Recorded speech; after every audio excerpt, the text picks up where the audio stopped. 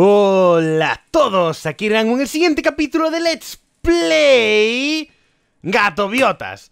Bien, bien, bien, bien, bien, bien. Eh, tomé la decisión de que, eh, antes del último capítulo, de que si pasaba de las 15.000, hacíamos por lo menos el, primer segmento, que se supone que me deben quedar unos 4 o 5 vídeos de todas formas, uh, para ver si continuaba bien o lo que fuera, pero me ha alegrado un montón ver que, las ha superado por mucho, estaba como en 19.000 uh, cuando me he puesto a grabar esto, así que genial. no sé qué pasó, pero dieron, dieron un subidón. Pero ahora serán bots. ¿Será que alguien usa bots? Vale, espero que se mantenga el, el interés, porque yo creo, siento yo, que hoy vamos a ver el primer asesinato. Espero. Así que vamos allá. En el último capítulo me enfadé un poquito. Y en este quizás me enfade un pocote. Veremos lo que sucede. Padre. Por favor, al menos ven a cenar con nosotros. Esto no lo habíamos visto ya. Mm, ¿habré, ¿Habré loudeado la que no era? Espérate. Vale. Voy a confiar en que esta sea la correcta. Al menos vengo a cenar con nosotros. No sería una reunión familiar así. Junto con un golpe sordo en la puerta, el sonido de la súplica de Kraus podía ser escuchado. Sin embargo, esa voz parecía estarse rindiendo, puesto que su sonido no llegaba a los oídos que intentaba alcanzar. Yo juraría que esto ya lo jugamos. ¿Este hombre no se había ido ya? Gizo-san, ¿no saldrás al menos a la cena? ¿Que no se han reunido todos tus hijos aquí para ver tu rostro? Estoy seguro de que esta parte ya la hemos... Uh, algo del alf... Vale. Al parecer Kinso estaba completamente centrado en la batalla final del largo partido de ajedrez que llevaba con Nancho. Igual se fue, pero para venir aquí. La frente de Kinso estaba arrugándose a medida que continuaba mirando el tablero de juego a través de sus gafas. La voz de Kraus no llegó a sus oídos. Sí, algo había oído en el narrador. Kinzo-san, yo también tengo hambre. Déjeme, déjeme bajar, por favor. ¡No! En ese caso puedes... Eh, puedes ir solo. Permíteme pensar el próximo movimiento un poco más. Lo terminaremos esta noche. Vale, hay un botón que me deja pasar los diálogos y hay otro que hace que pasen automáticamente. Y nunca recuerdo cuál es cuál. Y, y, antes me quedé mal por eso. En ese caso, puedes ir solo. Permíteme pensar el próximo movimiento un poco más. Lo terminaremos esta noche. De lo contrario, parece que no se va a resolver hasta que termine el mundo. Hostia, lo de que mueren todos era que mueran todos en el mundo, no que mueran todos en la isla. Nanjo se levantó de su asiento esperando que esto llevara a Kinso a hacer lo mismo, pero los ojos de Kinso nunca salieron del tablero de ajedrez. Uh, creo que esto es nuevo, vale. Me, sonaba mucho a una escena anterior. Sabía muy bien que Kinzo siempre se encerraba en sí mismo cuando se trataba del ajedrez, pero nunca lo había visto tan concentrado como ahora. Era casi como si, como Kinzo había dicho, el juego no terminaba... Era casi como si, como Kinso había dicho, el juego no terminaba esta noche. Joder, es que no está bien puesto así. Es, queda, o sea, entiendo lo que quiere decir, pero queda confusa la frase. Era casi como si, tal y como Kinso había dicho, si el juego... No, ¿cómo, ¿Cómo hacer bien esta frase? Porque me está poniendo de los nervios. Era casi como si...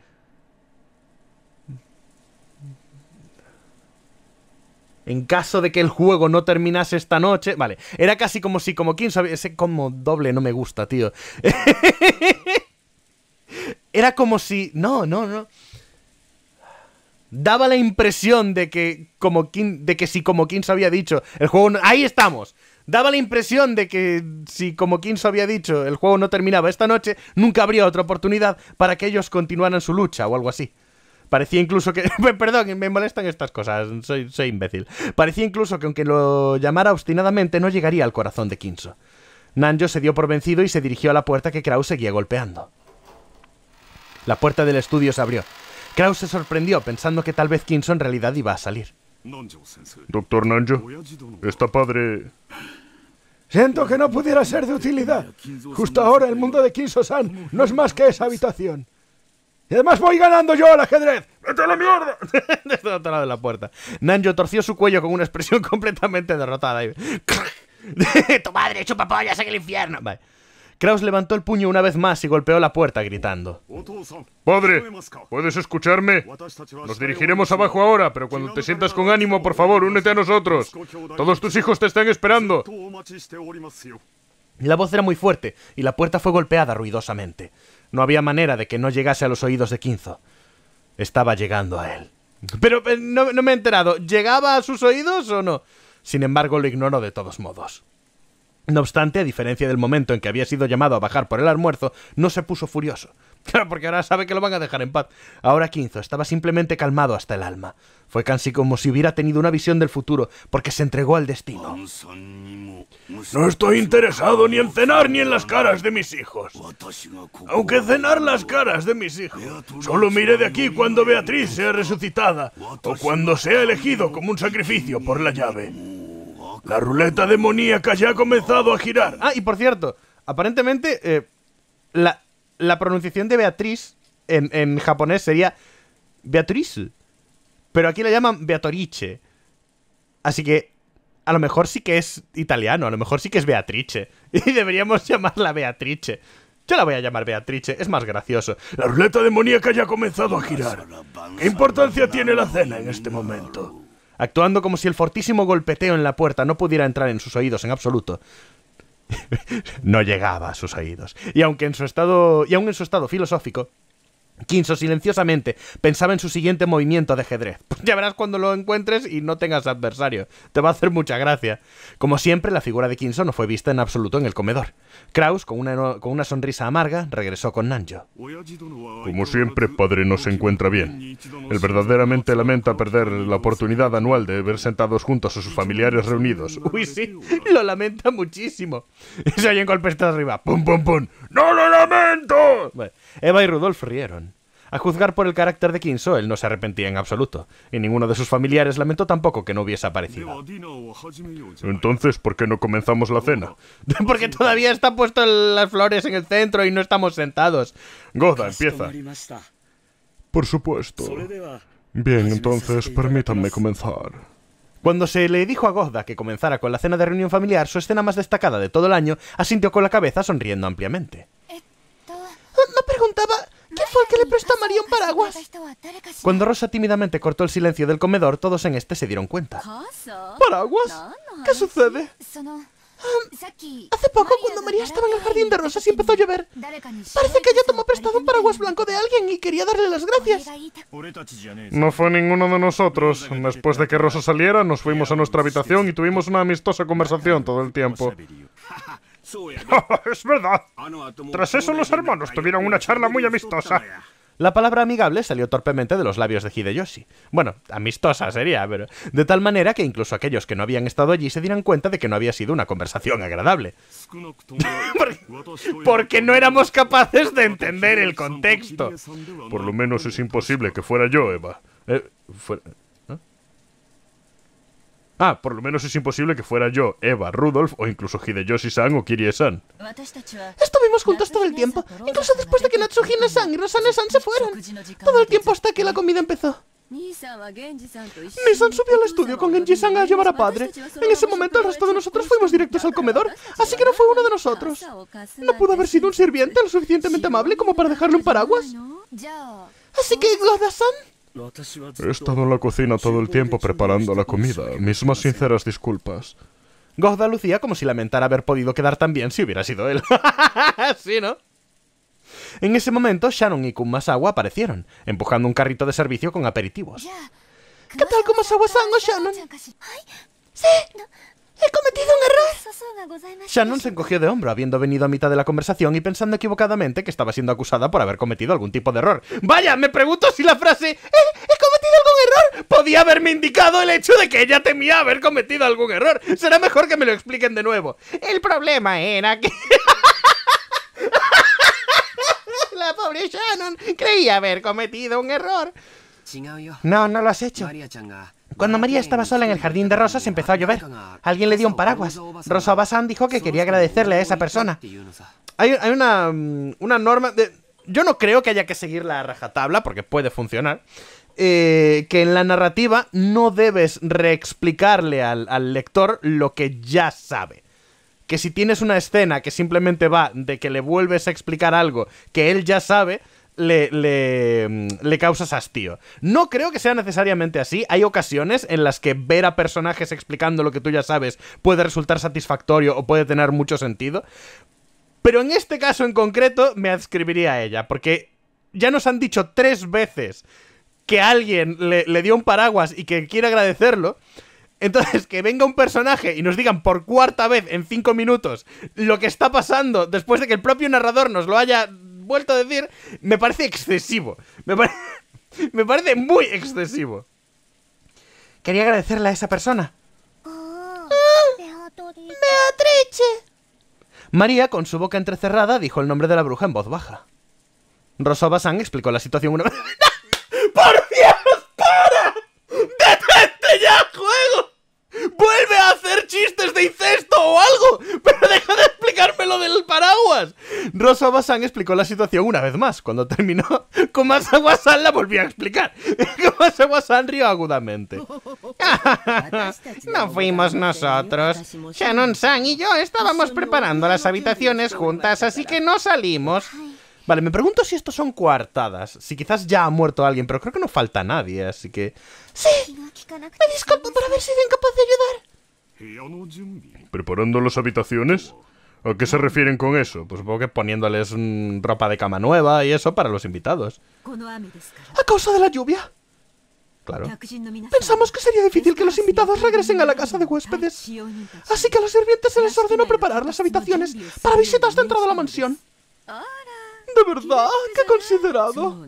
Tienen razón, sería descortés echarnos en medio de esta lluvia. ¿No podrías parar un, ¿no podrías parar un poco?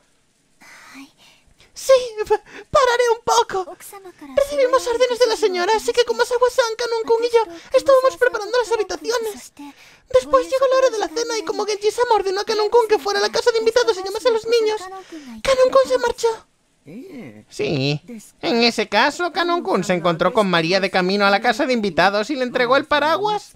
¡Ah! ¡Equivocado! La misma persona que había recibido el paraguas lo negó. Rosa estaba confusa.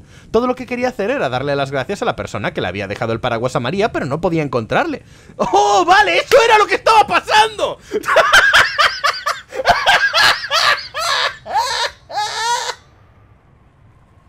Este me está recordando muy fuerte a Dora, tío. En plan de ¿dónde está la persona a la que hay que darle las gracias? Está aquí y sale la persona detrás de un arbusto. Sale Beatrice detrás de un arbusto. Y en plan, no lo veo. Y todos los niños, ¡ahí! ¡ahí! ¿Dónde? Aquí. Y mira debajo de una piedra. ¡No!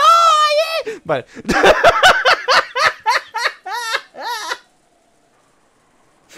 Ay, perdón. Pero no podía encontrarle. Todo lo que quería. Y ella había pensado que preguntar así mientras todos estaban reunidos para cenar funcionaría inmediatamente. Desgraciadamente no parecía estar funcionando, así que ella no era capaz de averiguar quién era el... Entonces, Natsuhine-san, lo siento. Después de la charla amigable, mi dolor de cabeza era tan fuerte que he estado descansando en mi habitación. Por ello no salí. Hmm, sospechosa de asesinato. Entonces, ¿quién? ¿Yoshi-kun y los niños? Eso no puede ser verdad. No, no fuimos nosotros. Estuvimos viendo la televisión de la casa de invitados todo el tiempo. De hecho, pensábamos que María simplemente habría vuelto con Obasan a la mansión. Entonces Canon vino, nos preguntó si María estaba con nosotros y en ese momento nos dimos cuenta por primera vez de que no estaba en la mansión. En primer lugar, si hubiera sido yo, antes de dejarle un paraguas, lo hubiera sujetado de la mano y lo hubiera llevado bajo techo. Pues la verdad es que sí. Aunque llegas un poco tarde para eso, ¿eh, Butler? Rosa estaba completamente desconcertada.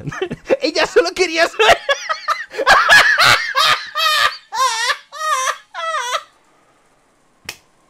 Bueno, mira, por lo menos me lo paso bien. Uno por uno, los familiares clientes iban afirmando que no habían sido. ¿En serio? A pesar de que era algo que nadie tendría que ocultar. Así, mediante el proceso de eliminación, el número de gente que podría haber sido no era muy grande. Por supuesto, no fui yo. Justo después de que empezara a llover, visité la habitación de Kinso y estuve jugando con él al ajedrez hasta ahora. Lo que significa que tampoco fue el abuelo. Esperen un segundo. ¿No está esto empezando a volverse un poco raro? ¿Quién falta? Entonces, ¿quién? ¿Genji-san? ¿Eh? Me espera un momento, no me malinterpreten. No es como si estuviera buscando un culpable o algo parecido. Todo lo que quiero hacer como madre es darle las gracias. ¡Ah, vale! Ella, es- gente, ella solo quería darle las gracias a la persona, pero no la está encontrando. La persona que dejó un paraguas a María en medio de la lluvia. Dejar un paraguas a una niña deambulando en medio de la lluvia es algo para ser alabado, no escondido. Aún así nadie levantó la mano. ¿Por qué? Todo el mundo empezó a murmurar acerca de lo raro que se estaba volviendo esto. Tranquilízate, Rosa. ¿Por qué no solo preguntamos a la persona que recibió el paraguas? Eso es todo lo que el mundo había estado pensando desde el principio. Todos estaban preguntándose porque simplemente no le había preguntado a María quién había de quién había recibido el paraguas. Sin embargo, Rosa se mordió el labio inferior. Después de todo, ya sabía cómo respondería María si le preguntaba. Es cierto. Tal y como Rodolfo dijo, María Chan, dile a tu tío. ¿Quién te prestó ese paraguas? ¡Beatrice! El comedor fue envuelto en silencio durante un instante, pero este fue roto rápidamente y luego envuelto por risas. ya veo, Beatrice, la bruja del bosque, sintió compasión y le dejó un paraguas. Qué bonita historia. Ahí lo tienes, Rosa. Rosa no lo podía creer, a pesar de que ella solo quería dar las gracias por el paraguas porque todo tenía que estar cubierto por humo. Tal y como dijo Klaus Oji-san, Beatrice me lo dejó. ¿No es genial? Estoy celoso de tanta pureza. ¿Qué es lo que piensan? Kraus se reía con un rostro que. On, un rostro que claramente reflejaba estar burlándose de ella. Pero no te burles de la niña, hijo de puta. Pero María, aparentemente, sintiendo que su afirmación estaba siendo creída, estaba eufórica. ¿Cómo fue? ¿Realmente parecía una bruja y le dejó un paraguas? Jessica me preguntó en una voz tan baja que no llegaría hasta María, quien, se estaba, quien estaba enfrente de mí. ¿Has visto a María bromear alguna vez? Si hubiéramos oído esta historia salir de la boca de, ese viejo bastardo, nos lo hubiéramos tomado como otra broma. Sin embargo, era difícil. ¿Quién es el viejo bastardo? ¿Kraus o el, abuelo? Sin embargo, era difícil explicarlo así cuando lo decía María. Esto se estaba volviendo realmente desconcertante. ¡Imposible! María siempre ha sido franca y seria. ¿No se, ¿No se ha creído siempre las bromas que se suponía que eran mentiras obvias? Ni siquiera la he oído nunca decir una broma. Rosa Basan probablemente sabía esto mejor que nadie. Parecía que debido a esta situación, Rosa ya no tenía ni idea de qué estaba pasando. Así que si María dice que tomó prestado un paraguas de Beatrice, definitivamente fue Beatrice o alguien que ella pensó que lo fue. Estamos hablando de María, así que no creo que sea ni una metáfora ni una broma. Sería mejor que nos tomáramos lo que dice literalmente. Entonces, ¿qué está pasando? ¿Estás diciendo que Genji-san u otra persona se puso ese lujoso vestido del retrato y le dio el paraguas a María? No estoy segura de eso. En realidad es lo que querría saber. Jessica se encogió de hombros en medio, medio en broma, pero su expresión no era completamente de broma. de ahí el medio. Dije medio en broma porque no era todo... Vale, una vez retirados los aperitivos y que Goda hubiera presumido su amplio conocimiento, la comida comenzó. Ya estaba fría por todo lo que habló Goda. Una serie de charlas casuales irrumpieron aquí y allá, pero parecían distantes de alguna manera. En este silencio, el sonido de la lluvia se coló en el comedor.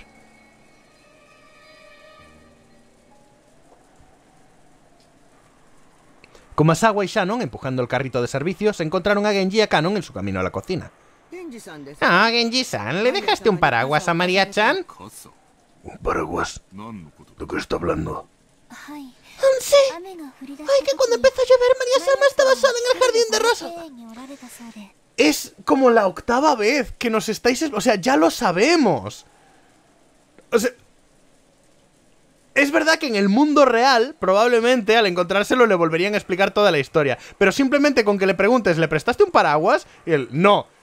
Nosotros ya unimos los puntos. No, no, no quedaría poco natural. Nos lo creeríamos automáticamente. Lo que nos saca de la historia es volver a leer por novena vez. la misma mierda. Estaba sola en el jardín de rosas y parece que alguien pasó por allí y le dejó un paraguas. Pero no sabemos quién fue. No fui yo. Después de todo, pensaba que María estaba en la casa de invitados. Cuando Butler Sama la encontró, yo estaba sosteniendo un paraguas blanco. Mis disculpas, pero tampoco fui yo. Entonces no creerán que tal vez el amo... Todo el mundo, tanto en el comedor como en el lugar en que se encontraban, habían declarado que no habían sido ellos. Lo que significaba que solo quedaba Kinso, pero... Espera, ¿qué, fue lo que tiró Kinso? Ah. No, tiró un, tiró un anillo, tiró un anillo. Estaba pensando que lo que sí pudo hacer Kinso fue tirar un paraguas y que le llegasen. ¡Oh, espera! Eso pudo pasar. Tranquilamente el, viejo, no creo, pero el viejo u otra persona la pudo ver desde lejos y tirarle un paraguas desde lejos y que al caerle un paraguas al lado, la niña dedujese que tuvo que haber sido Beatrice y entonces esté tan convencida que no se plantee el... pero no la vi, ¿sabéis? No, sé, como, como idea. Eh, lo que significaba que solo quedaba Kinso, pero... Ida se estaba andando por el pasillo por alguna razón cuando por coincidencia vio a María Sama sola en el jardín sin ni siquiera un paraguas. El amo no aparecía en particular, no aprecia en particular a María Sama. Estoy de acuerdo. No me puedo imaginar que por el bien de María Sama estuviese dispuesto a bajar las escaleras para llevarle un paraguas. Ah, cielos, qué problemático. Entonces, ¿eso significa que quien dejó el paraguas a María Sama fue realmente Beatrice? Kumasawa rió, al igual que los familiares habían hecho en el comedor. No podía pensar en ninguna otra manera de romper el velo de humo que envolvía esta situación. Justo en ese momento, el sonido de unas manos aplaudiendo varias veces recorrió el corredor. Todos se dieron la vuelta a la vez para ver que era Gogda, que estaba saliendo del comedor. Suficiente, todos ustedes. A la hora de servir una cena, una buena coordinación a la hora de poner la mesa es esencial. Por favor, ocúpense inmediatamente de servir la sopa. Genji-san, las mujeres están en medio de una importante tarea, así que agradecería que no las interrumpieras. Kanon fulminó a Gogda con la mirada por ser maleducado con Genji, a quien él respetaba profundamente. Genji, viendo esto, le dio una palmada en el hombro a Canon como si quisiera darle una advertencia. Canon se sacudió, se sacudió la cabeza a regañadientes y su expresión volvió a la normalidad. Obedece la orden de Goda. Démonos prisa en preparar la mesa. Vamos, no hay tiempo. No se queden ahí parados. Apresúrense. Goda le quitó de las manos a Shannon el carrito de servicio y lo empujó con paso seguro hacia la cocina. En ese caso, permítanos volver a la cocina. Después de todo, la paciencia de Goda-san es más bien pequeña. Como otras cosas que tiene Goda-san. Si me disculpan a mí también. Kumasawa y Shannon se fueron. Solo Genji y Kanon permanecieron. A través de la ventana, la oscuridad de la noche lluviosa podía ser vista, acompañada por algún rayo ocasional. Genji-sama, ¿realmente Beatriz-sama ha regresado? Hmm. Entonces él cree en ella. No lo sé. Informaré al amo. Eso no es necesario. Si ella verdaderamente ha vuelto, entonces tarde o temprano aparecerá por voluntad propia ante el amo. Además, es una persona muy voluble.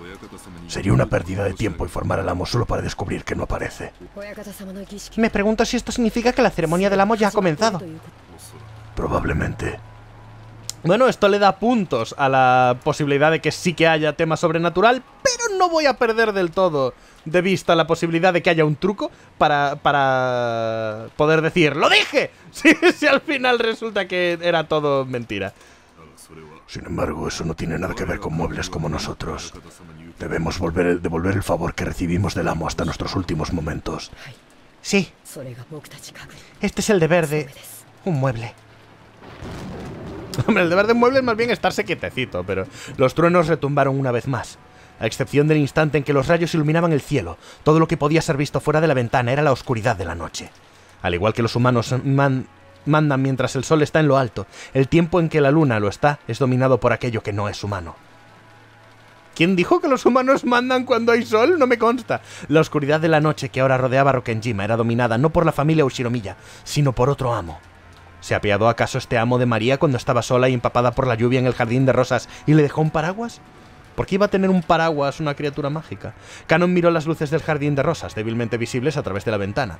Además, el estilo de vestimenta de, de, Beatrice no iba nada acorde a tener un parasol blanco o un paraguas blanco. Así que no me termina de convencer. A través de la ventana, las tenues luces no eran suficientes como para iluminar los alrededores. Al mirar esas luces sentía como si estuviera haciendo contacto visual con la bruja, y Canon apartó la mirada inútilmente. Si no lo hacía, le parecía que sus ojos iban a ser absorbidos por esa luz. ¡Ah! ¡Me absorbe la luz! ¿Puede el clima cambiar de la forma en la que la gente actúa? Sí. A menudo oyes historias acerca de cómo la presión atmosférica puede influenciar el humor y salud de las personas. Por un tiempo hasta ahora, todo el mundo había estado esforzándose por aliviar la atmósfera depresiva, pero cualquier conversación se cortaba rápidamente y al final el comedor se quedaba enterrado por el sonido de la lluvia. El postre era una especie de tarta de chocolate acompañado con jarabe de pera. Una vez mi tía eh, preparó unas peras al vino deliciosas. Fue la única vez en mi vida que probé peras al vino y a mí el vino no me gusta y las peras no son mi fruta favorita precisamente, pero esas peras al vino en concreto no, no sabían alcohólicas, es como que tenían el tenían el regusto de a lo que huele el vino si le quitas el alcohol. Ya os digo, yo no bebo vino. Ah, y estaban muy, muy, muy, muy ricas. Una textura, estaban fresquitas, tenían una textura así que no era ni ultra arenosa, pero tampoco era duro, ¿sabéis? Ni, ni tal. Estaban muy, muy, muy, muy... Ahora tengo ganas de... Ahora tengo ganas de volver a probar aquellas peras al vino. Godasan explicó con entusiasmo la receta en cuanto el plato fue servido, pero rápidamente me olvidé de los detalles. Vale, ¿quién es, es Butler otra vez ahora? El invitado de honor, el abuelo, estaba ausente, el clima era horrible y la persona que le había dejado el paraguas a María seguía siendo un misterio. Cuando la cena se acabó, nadie sentía en lo más mínimo, se sentía en lo más mínimo descansado. Ahora era demasiado tarde, pero nos dimos cuenta de que tristemente el sabor no es lo único importante en una comida. La atmósfera también era un factor crítico. Gozdasan, el supuesto director de esa pieza musical llamada Cena, hizo todo lo que pudo por darle vida al comedor, lanzando pequeñas bromas aquí y allá, pero aparentemente ninguna tuvo éxito. Después de tomar los pedidos de café, té y zumo de naranja, se fue a la cocina. En cuanto desapareció, Krauso-Jisan habló. Bueno, bueno. Cuán verdaderamente tediosa ha sido esta cena que aun cuando Gozda se esforzó tanto por crear... ¿Eh? Que aun cuando Gozda se esforzó tanto por crearla ha sido tan pobremente recibida. Sí, en serio. Parece que nadie sabría... Nada sabría bien hoy. Simplemente es este tipo de atmósfera. me gustaría saber por qué te sientes así. Más tarde permíteme como tu hermano mayor animarte. Eva-san hizo una ligera mueca. Ya había oído que no se llevaba especialmente bien con Kraus eh, Ojisan, pero ahora podía sentirlo claramente. Cuando miré alrededor, me di cuenta de que mi padre y Rosa Obasan también estaban haciendo una mueca. Hostia, Estamos volviendo a los tintes incestuosos porque lo decía de broma, juego. Mejor repite lo del paraguas. En cualquier caso, parecía que algo más, aparte del tiempo, los preocupaba a todos. Tanto Eva Obasan como mi padre no se ven demasiado contentos. ¿En serio? Yo no lo creo. Le pregunté a Natsuki Obasan, que también se sentaba a mi derecha, pero parecía que también estaba de mal humor. Me contestó bruscamente como si no estuviera en lo más mínimo interesada. Bueno, nuestra conversación de mayores se complicó un poquito. No es algo de lo que tengan que preocuparse los chicos, Butler-kun. ¿No es verdad, Natsuki-san, Kirie-san? Hideyoshi Oji-san se rió mientras hablaba, pero sin su chispa habitual, así que apenas me podía imaginar lo complicada que su conversación de mayores se había vuelto. Además de eso, incluso Natsuki Obasan y Kirie-san, la gente a quien había dirigido el comentario le ignoraron como si no hubieran oído nada. Hostia, eso ya es un poco triste. No sabía qué tipo de conversación habían tenido mientras los niños no estábamos, pero me recordó a cómo mi padre había dicho que le dolía el estómago al llegar a la mansión. La conferencia familiar puede haber sido una alegre reunión para los niños, pero era definitivamente diferente para los adultos. Cuando Hideyoshi Jisan fue ignorado por los otros adultos y un incómodo silencio se asentó sobre la habitación, Kirie-san habló. Estábamos hablando de cómo resultarían las carreras de los niños. ¡Oh no, Jessica, cuidado! ¿Qué harán en el futuro? ¿Salirán a la universidad por inercia? ¿No sería eso un poco descorazonador como partida a la larga carrera de la vida? Kirie-san es una mujer sabia. Espera un momento, Kirie-san. Si empiezas a hablar de algo así en medio de una comida, no se digerirá bien y nos respiraremos todos, ¿verdad? eso es, eso es. Estábamos hablando de las carreras de Jessica Kun y Butler Kun. No puedes tomarte el futuro demasiado en serio. Hideyoshi estuvo de acuerdo animadamente, como si realmente hubieran estado hablando de eso, aunque era probablemente erróneo. Kirie-san había estado tratando de evitar hablar sobre algo. Sin embargo, si ella había determinado que ese era el mejor curso de acción por ahora, entonces probablemente estaba en lo correcto. Tomando eso en cuenta, pondré de lado mis sospechas acerca de la causa del mal humor de Eva Obasan y mi papá. ¿Para qué me sacan lo de mi papá? Finalmente el carrito regresó, cargado de café y té. Komasawa-san y Shannon-chan lo sirvieron a todos. Entonces Gogda explicó que con esto la cena de esta noche había acabado, y nos pegó con un palo para que nos fuéramos. Si hubiera podido comer en un ambiente más amable, esta, habría podido ah, esta podría haber sido la mejor cena de mi vida. Era una lástima que la mejor cena no haya podido ser comida bajo las mejores condiciones.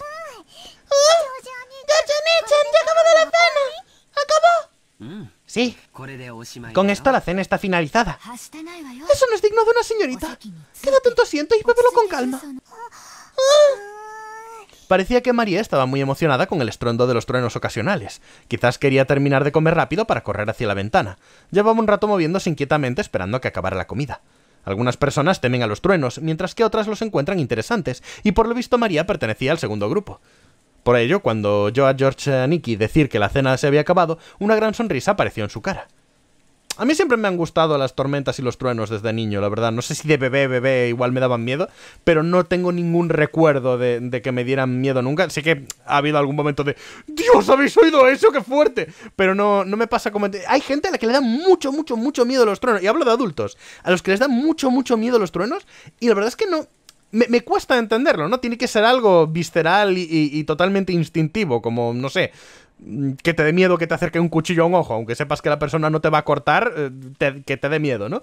Tiene que ser algo por el estilo, pero. pero. Sí, no sé, investigado a lo mejor sobre, sobre el fenómeno meteorológico en sí. A lo mejor si entendéis completamente que es un trueno, os, da menos instinto de miedo. No lo sé, la verdad. Es, es, lo malo de los miedos irracionales, que no son racionales. Entonces se levantó de su asiento, sacó su bolso, el cual había guardado bajo su silla, no habiéndolo dejado ni siquiera mientras estaban comiendo, y empezó a rebuscar en su interior. Nadie parecía particularmente preocupado con este comportamiento. ¿Qué es eso? ¿Esto de dónde lo sacaste? George fue el primero en darse cuenta. Mientras hablaba, Butler también lo notó. ¿Oro? Dime qué es oro. Oh. Cuando miraron, se dieron cuenta de que era lo que María estaba sosteniendo. ¡Oh! Igual le dio la, instrucción de que lo sacase después de la cena y por eso estaba tan con tantas ganas. Cuando lo miraron, se dieron cuenta de que lo que María estaba sosteniendo era un hermoso sobre de estilo occidental. Es verdad que los sobres japoneses son como más alargaditos. En la parte frontal del sobre, el emblema de la familia Oshiromiya, el águila de un ala, estaba impresa en oro. Eh, no. Ah, vale. Pensé que se refería al, al, lacado, este, al lacrado, se refería a esto, vale. Eh, además, el hecho de que estuviera sellada con cera rojo oscuro dejaba claro que esto no era algo que María podría haber traído como una broma. María solo tiene cera de color rojo claro. María-chan. María-chan, ¿qué es esto?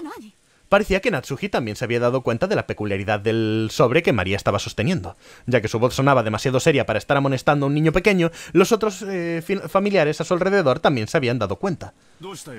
¿Qué pasa, Natsuki-san? ¿Qué es eso? María, ¿de dónde lo has sacado? ¡Ese sobre tiene... Kinso-san! Cuando Nanjo murmuró eso, incluso los niños pudimos entender por qué todo el mundo parecía estar congelado.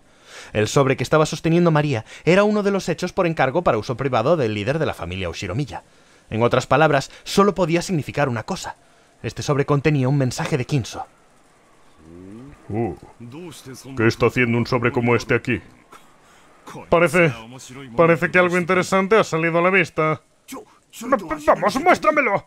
Y el sobre también. De ninguna manera, María lo leerá. A María le dijeron que se le leyera a todos. Hideyoshi Oji-san intentó arrebatar el sobre de las manos de María, pero lo protegió como si lo abrazara y no lo soltaba. Hideyoshi, no puedes utilizar toda tu fuerza contra un niño. María-chan, ¿de dónde sacaste ese sobre? Ah, lo recibí de Beatrice cuando me dio el paraguas. Le dijo a María que lo leyera cuando la cena hubiese acabado. La bruja nombró a María su me, me, mensajera. Ah.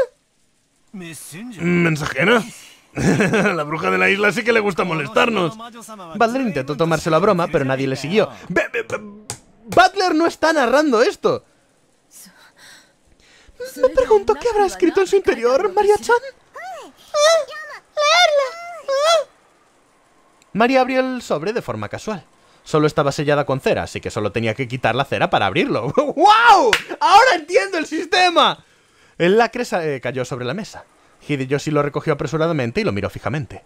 Entonces lo puso en el centro de la mesa donde Natsuki, Niri y Nanjo lo miraron. En el lacre, el emblema de la familia Oshiromiya, también conocida como emblema personal de Kinso, el águila de un ala estaba impreso.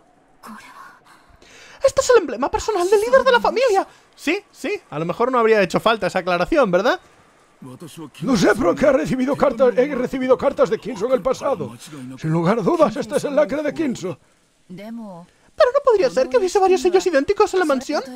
Por ejemplo, si, hubiera, si hubiera algún tipo de sello para la Cres, ¿no podría alguien aparte de Kinso haberlo sellado? No, Kinso solía usar siempre un anillo en su dedo, su prueba de liderazgo de la familia Oshiromiya cuando sellaba la cera.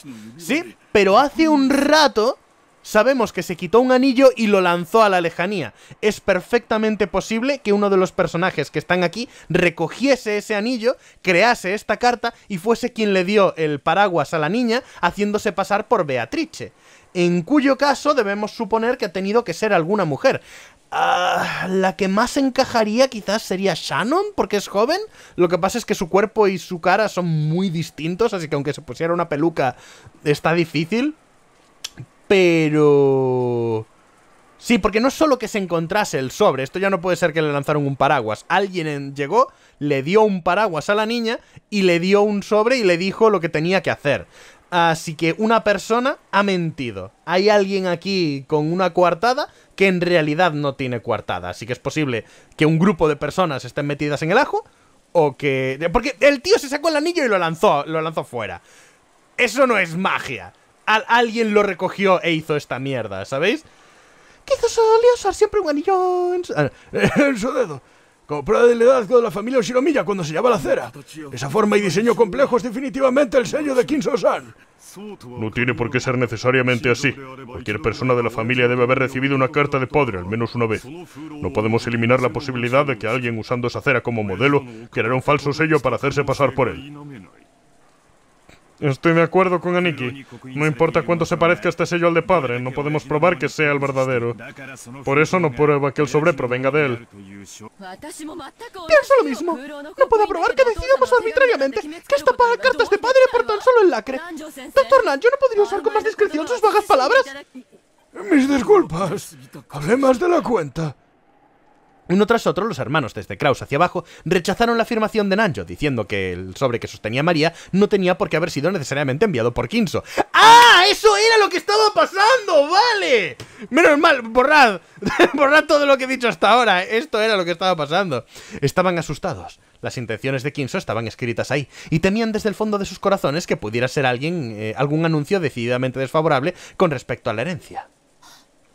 María, la persona que te dio el sobre y la que te dio el paraguas son la misma persona, ¿verdad? ¿Eh?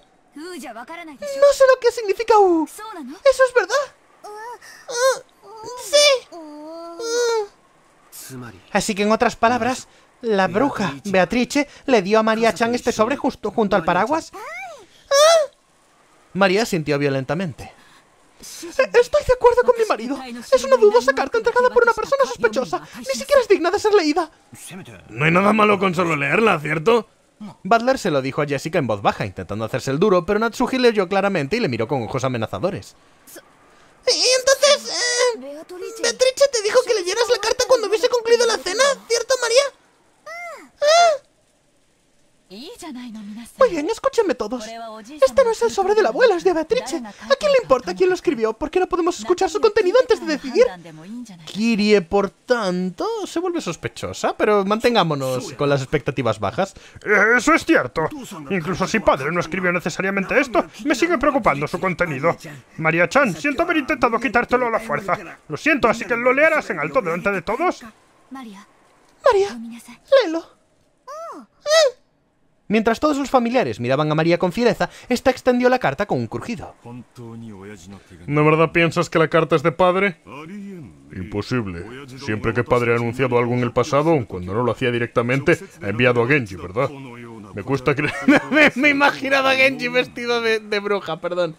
Me cuesta creer que usar un método tan similar a una broma. Tienes razón. ¿María una mensajera? Ese ciertamente no es uno de sus pasatiempos. Rosa, ¿podría ser que todo esto no sea más que un intento de sorprendernos por parte de María? ¿Con algún tipo de talento oculto? Bueno, María no es realmente el tipo de niño capaz de hacer algo tan inteligente. Mm. Antes habría hecho un comentario al respecto, pero después de lo que ha pasado ya no hace gracia. es verdad que tiene un problema, creo. ¡Leerla! Las palabras salían de la boca de María, pero por alguna razón su voz sonaba diferente a lo habitual. Todos se callaron súbitamente. Les doy la bienvenida a Rokenjima, miembros de la familia Oshiromiya. Yo soy Beatrice, la consejera de la alquimia de esta casa, contratada por el mismísimo Kinso-sama. ¡Qué estupidez! ¡Cállate! He estado sirviendo muchos años bajo su mando como se estipuló en contrato, pero el día de hoy este contrato ha sido declarado como finalizado por Kinso-sama. En consecuencia, de ahora en adelante, por favor, acepte mi renuncia del puesto de consejera de alquimia de esta casa. ¡Qué insensatez! ¡Qué tontería! No, no puedo aguantar escuchar esto. Y ahora hay una parte del contrato que debe ser explicada a todos los presentes. Yo, Beatrice, presenté una enorme cantidad de oro a Kinso-sama bajo ciertas condiciones. Una de esas condiciones dicta que todo el oro habrá de ser devuelto a mí al concluir el contrato, y también tengo el derecho de recibir todo lo que posee la familia Oshinomiya como interés. ¡Ridículo!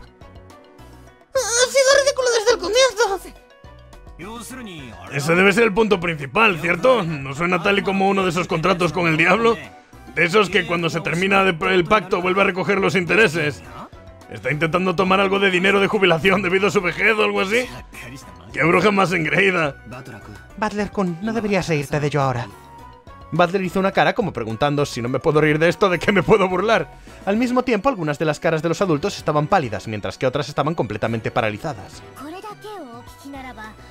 Al leer esto, lo más probable es que piensen que Kinso-sama ha sido increíblemente despiadado. Sin embargo, Kinso-sama añadió una cláusula especial con el objetivo de daros una oportunidad de preservar vuestra fortuna y honor.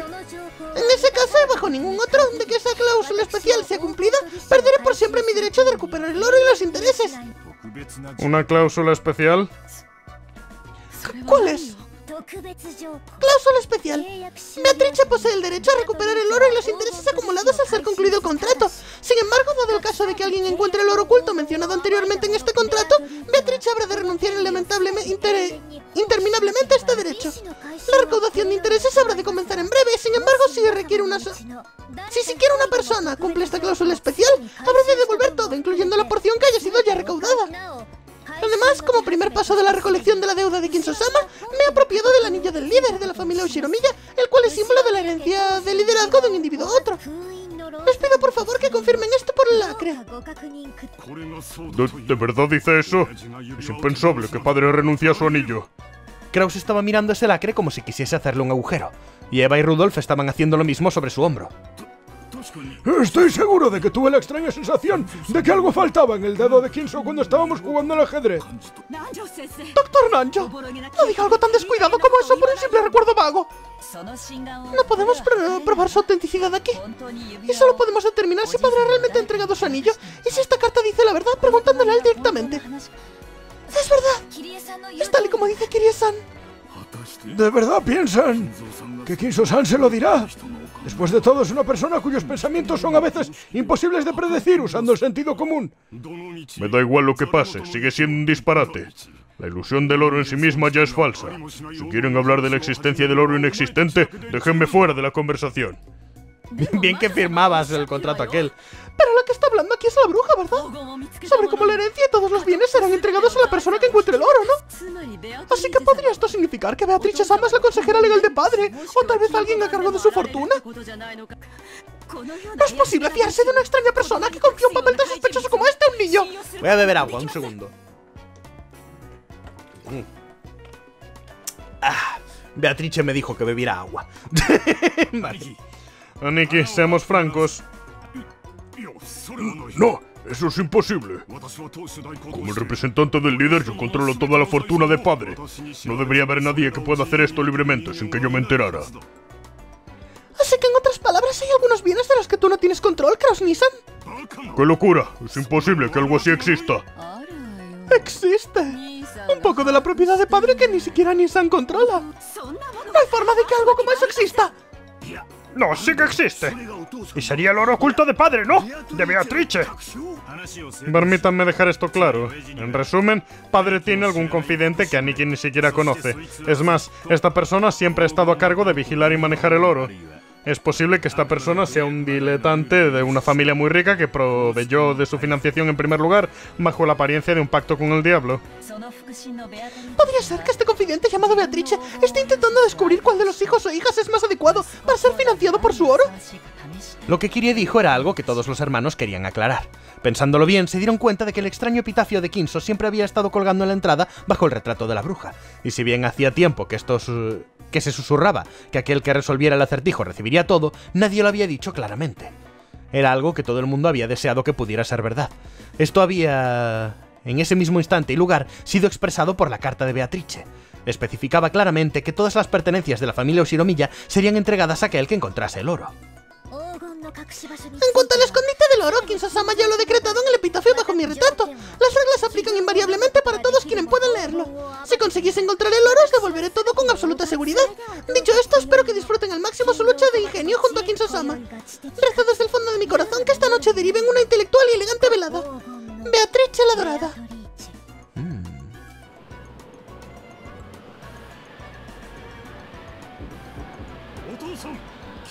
Padre, sé que puedes oírme. Responde, por favor. La puerta que daba al estudio de Kinso estaba siendo golpeada una y otra vez como si fuera un instrumento de percusión. Los gritos provenientes del otro lado eran las voces de Kraus, de Rudolf y en ocasiones de Eva. Eran los hermanos que estaban intentando inmiscuirse en el estudio de Kinso para preguntarle acerca de la verdad detrás de la misteriosa carta. Kinso estaba comiendo. Un elegante mantel estaba dispuesto sobre la mesa y la fabulosa cena que había coloreado la mesa bajo el comedor estaba una vez más dispuesta. Kinso continuó su comida en silencio. Shannon, retirando un plato vacío, parecía incómoda entre que la puerta estaba siendo golpeada y la cara de Kinso. Claro, ¿por qué lanzar...? Mm. Vale. Estaba pensando, ¿por qué lanzar realmente el anillo si podía dárselo a quien quisiera, cuando quisiera? Pero sí, si él siempre llevaba el anillo en la mano y era notable que lo llevaba en la mano, querría deshacerse de él en el último momento y además querría que no se pudiese saber quién se lo llevó. Así que tendría sentido lanzarle a un cómplice el anillo por la ventana en lugar de simplemente llamarlo a su despacho, en ese caso. Todo el mundo lo está llamando, pero ¿qué debería hacer? Déjalo. Tanto Dios como yo valoramos el silencio durante la cena. Debería silenciarlos. No hay necesidad. No alcanzan mis oídos. Pero no, no, me he enterado. ¿El, sonido alcanza a sus oídos? Kinso eh, degustó fríamente su comida, que también estaría fría, me imagino. Genji bajó silenciosamente su cabeza y dio un solo paso hacia atrás. Mientras lo hacía, Canon, que estaba esperando en reserva como una sombra detrás y al lado de Genji, abrió su boca. Como María San ha recibido una carta de Beatrice Sama, me pregunto si quieren probar su autenticidad. Estos idiotas, ¿ya han empezado? Ven, Beatrice. Nada les falta a las monedas que han sido apostadas. Deberíamos disfrutar de este juego al máximo. No estoy de humor para perder. Tu sonrisa será mía hasta el fin de los tiempos. Si pudiera verla una vez más, no lamentaría perder mi riqueza, mi honor o incluso la vida. Perfecto. La ruleta ha empezado a girar. ¿En qué casilla caerá la bola? 50 picarats. Noir. Rouge. O se lo llevará todo la casa. Vamos, Beatrice. Puedes empezar. Te mostraré una vez más el poder de los milagros. ¡Ay! Se me ha roto el vaso. Mm, vale. Pasó otra hora.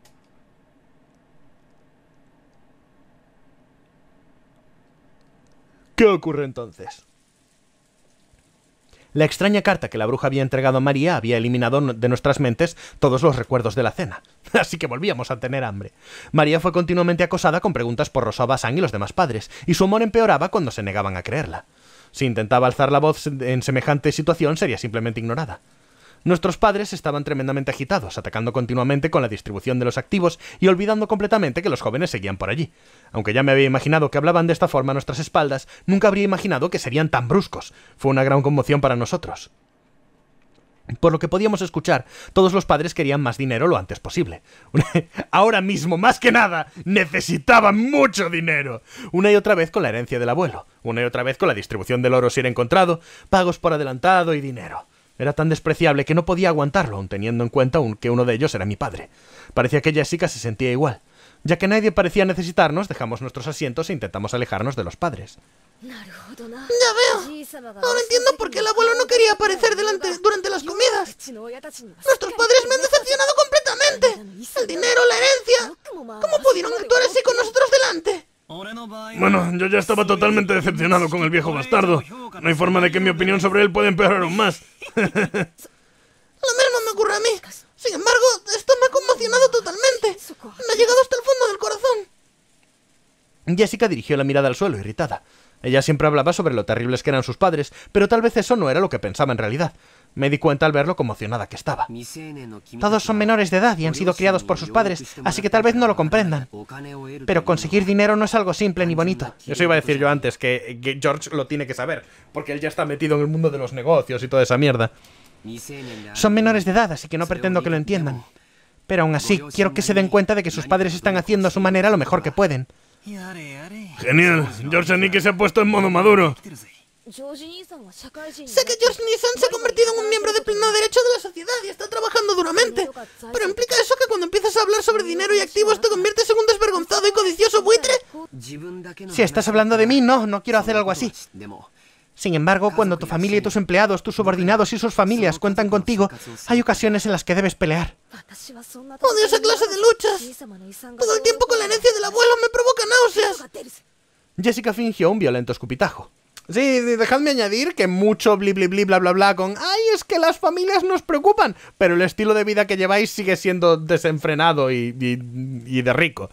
O sea, no, no, llevan ropa de pobre, no viajan como un pobre, no comen como pobres.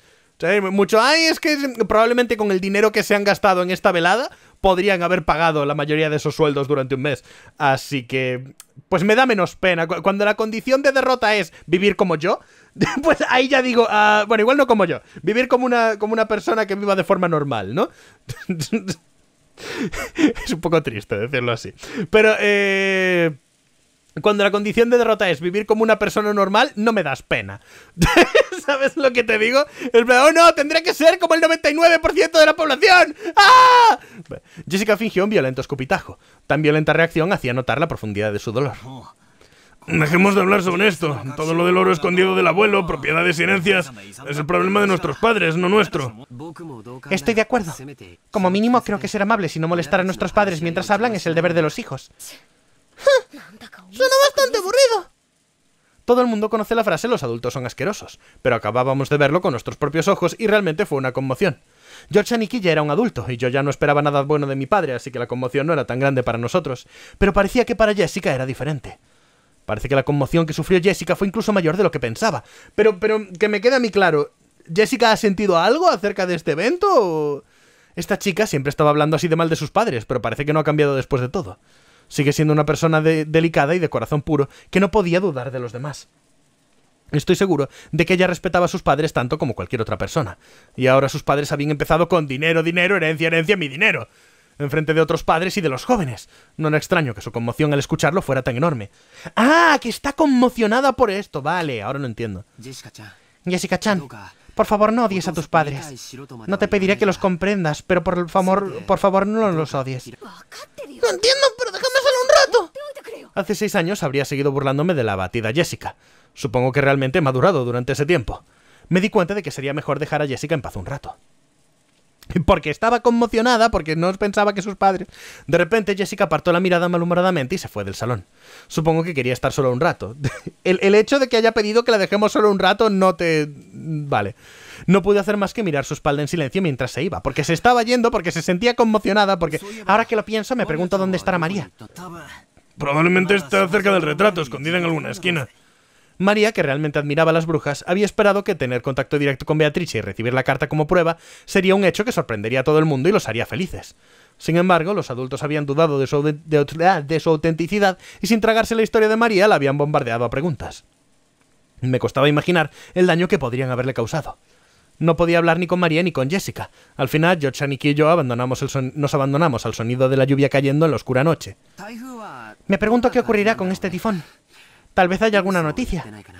George Aniki fue a la esquina del salón en la que estaba la televisión. No me había perdido, no me había pedido que la acompañase y me importaba bien poco en qué lugar del mar estaba el tifón ahora mismo. Así que sin acercarme a la televisión, holgazaneé por la ventana. No hay demasiado viento por aquí, pero me pregunto qué tan horrible será en el mar. Según el reportaje del tiempo, había un gran peligro de tormenta. Ah, Kirie-san. ¿Cómo ha ido la conversación de los adultos? Parece que entendió el sarcasmo. Kirie-san se encogió de hombros. Ese dolor de estómago de conversación podría continuar toda la noche. Se pondrá feo. Bueno, entonces por favor disfruten jugando los buitres con la propiedad del abuelo tanto como quieran. Es repugnante. En eso estamos de acuerdo. Si pudiera simplemente largarme como tú lo haría. Por desgracia no puedo. Aun si no se me permite hablar, mi pareja me necesita, ¿verdad? Kirie-san respiró profundamente, sonriendo con, con, amargura. Es cierto, probablemente no permitirían que Kirie-san, que se casó con alguien de la familia, hablara. Y aún así, como pareja de papá, no tenía otra opción que quedarse a su lado y apoyarle. Debe haber sufrido toda esta presión psicológica mucho más que yo. No iba a disculparme, pero al darme cuenta de que había sido demasiado duro, decidí dejar el sarcasmo. ¿Y con qué están ahora? ¿Siguen con el tema de la misteriosa bruja Beatrice? Más o menos. Esos cuatro hermanos siempre están formando acuerdos secretos cuando vienen a discutir la distribución de la herencia del abuelo tras su muerte. Dicen que, que ha aparecido una quinta persona desconocida y que está intentando complicar aún más las cosas y que no habrá ninguna conversación pacífica. Cuando piensas que solo están gruñéndose mutuamente, montaron un frente común. Natsuhine esa no era la única con, con dolor de cabeza. Por un lado, todos quieren una porción mayor que los otros hermanos, así que son rivales. Pero por el otro, no quieren que nadie ajeno a la familia reciba ni un yen de la herencia, así que también son aliados. No conozco los detalles, pero discutieron sobre una tregua y las reglas para impedir que nadie se aproveche. Según las cuales sus partes están protegidas y que podrían, en el peor de los casos, convertirse en una base para acciones legales que fueran a llegar tan lejos para conservar sus partes era más que vergonzoso. Entonces, básicamente, Beatrice es como una asesina enviada por el abuelo. Probablemente quisiera asustar a sus hijos por hablar sobre la distribución de la herencia sin él. Me pregunto quién es esta Beatrice. Si dice, si es quien dice ser, entonces es una persona misteriosa que nadie conocía y que sabe de la existencia del oro escondido por el abuelo. Además, incluso se le dio el anillo del líder de la familia. Realmente debe ser de desconfianza. Bueno, obviamente no creo que sea una bruja de las que vuelan en escoba. Pero claramente es una persona misteriosa que se hace llamar bruja. Bueno, no sé si se ha... Bueno, ella lo dijo, sí, lo dijo. Voy a beber más agua. Dame un segundo.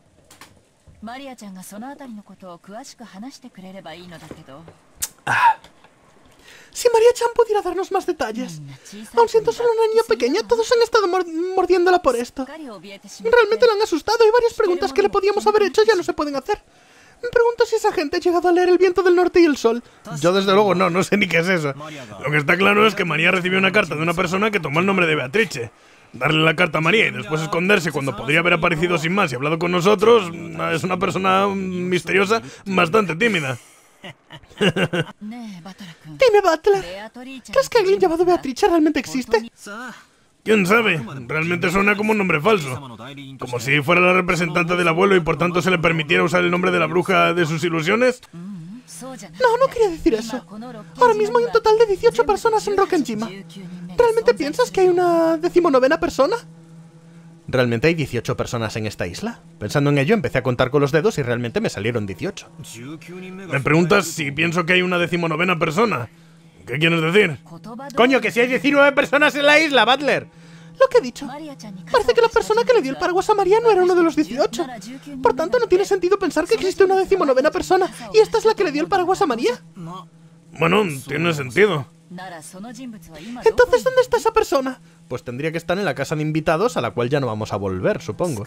Por lo menos está claro que ha de haber estado en esta isla desde que empezó a llover. Y desde entonces el tiempo ha ido empeorando lentamente, así que usar un barco sería prácticamente imposible. En cuyo caso debe seguir en esta isla escondiéndose de la lluvia en algún sitio. Supongo que para esto nos dieron la información de que no estaban iluminados los caminos, para que no pensemos que se fue a cualquier otro lugar oculto. ¿Y sin que nadie la vea? Cierto, hemos merodeado aleatoriamente por la casa de huéspedes, pero nadie se ha encontrado la decimonovena persona. Aún así, esta isla es enorme. Puede que haya otros lugares para cubrirse de la lluvia que no sean la mansión o la casa de huéspedes. En ese momento empecé a darme cuenta de a dónde quería llegar Kirie-san. Kirie negaba la existencia de una decimonovena persona. Beatrice era una de los 18. En otras palabras, pensó que alguien a quien conocíamos bien nos estaba engañando. Si Beatrice fuera su auténtico nombre, debe ser la más honrada de los invitados, la más honrada de los confidentes del abuelo con toda su confianza. No creo que el abuelo no fuera a darle a esa clase de persona una cálida bienvenida. Seguramente se habría acomodado en la mansión. Sin embargo, no hemos visto a nadie. Un momento, ¿no te estás apresurando un poco? Sí, nadie ha visto nada, pero eso no significa que puedas negar la posibilidad de que exista una decimonovena persona, ¿verdad? Puede que por algún motivo llegara a la isla y llevara escondiéndose desde entonces. Es lo que llaman prueba diabólica. Es fácil probar que algo existe. Si Beatriz aparece ante nosotros y nos saluda, todo está resuelto. Sin embargo, es imposible probar que no hay una decimonovena persona. Sí. Butler-kun, tu razonamiento no es malo. En, en la situación actual no hay suficiente información para aceptar o negar la existencia de una decimonovena persona. Pero si le das la vuelta al tablero y lo piensas de esa forma, podemos estar casi totalmente seguros de que es imposible que dicha decimonovena persona exista. Dar la vuelta al tablero era una de esas frases favoritas de Kirie. ¿Mía? También yo había sido influenciado por esas palabras y las usaba de vez en cuando. Cuando te, quedabas ah, cuando te quedas bloqueado intentando encontrar un movimiento en ajedrez o shogi, al dar la vuelta al tablero y verlo todo desde la posición del oponente, normalmente podrías ver una estrategia que te daría la ventaja. Significaba darle la vuelta a las cosas y ponerte en los zapatos de tu rival. ¡Gracias, Butler! ¡Ya lo he entendido! ¿Ves? Por un momento pensemos que esta decimonovena persona llamada Beatrice existe. Dicha persona debe habérselas apañado para llegar sigilosamente a esta isla sin que nadie la vea y quedarse escondida desde entonces. Tendría algún motivo, ¿correcto? En ese caso, ¿por qué se molestaría tanto en aparecer ante María y darle la carta? Una auténtica contradicción. Si tenía algún motivo para esconderse, debería haberse quedado escondida todo el tiempo, pero aún así apareció abiertamente ante María. Entonces, espera, María lo dijo. ¿Acaso no dijo que era una mensajera?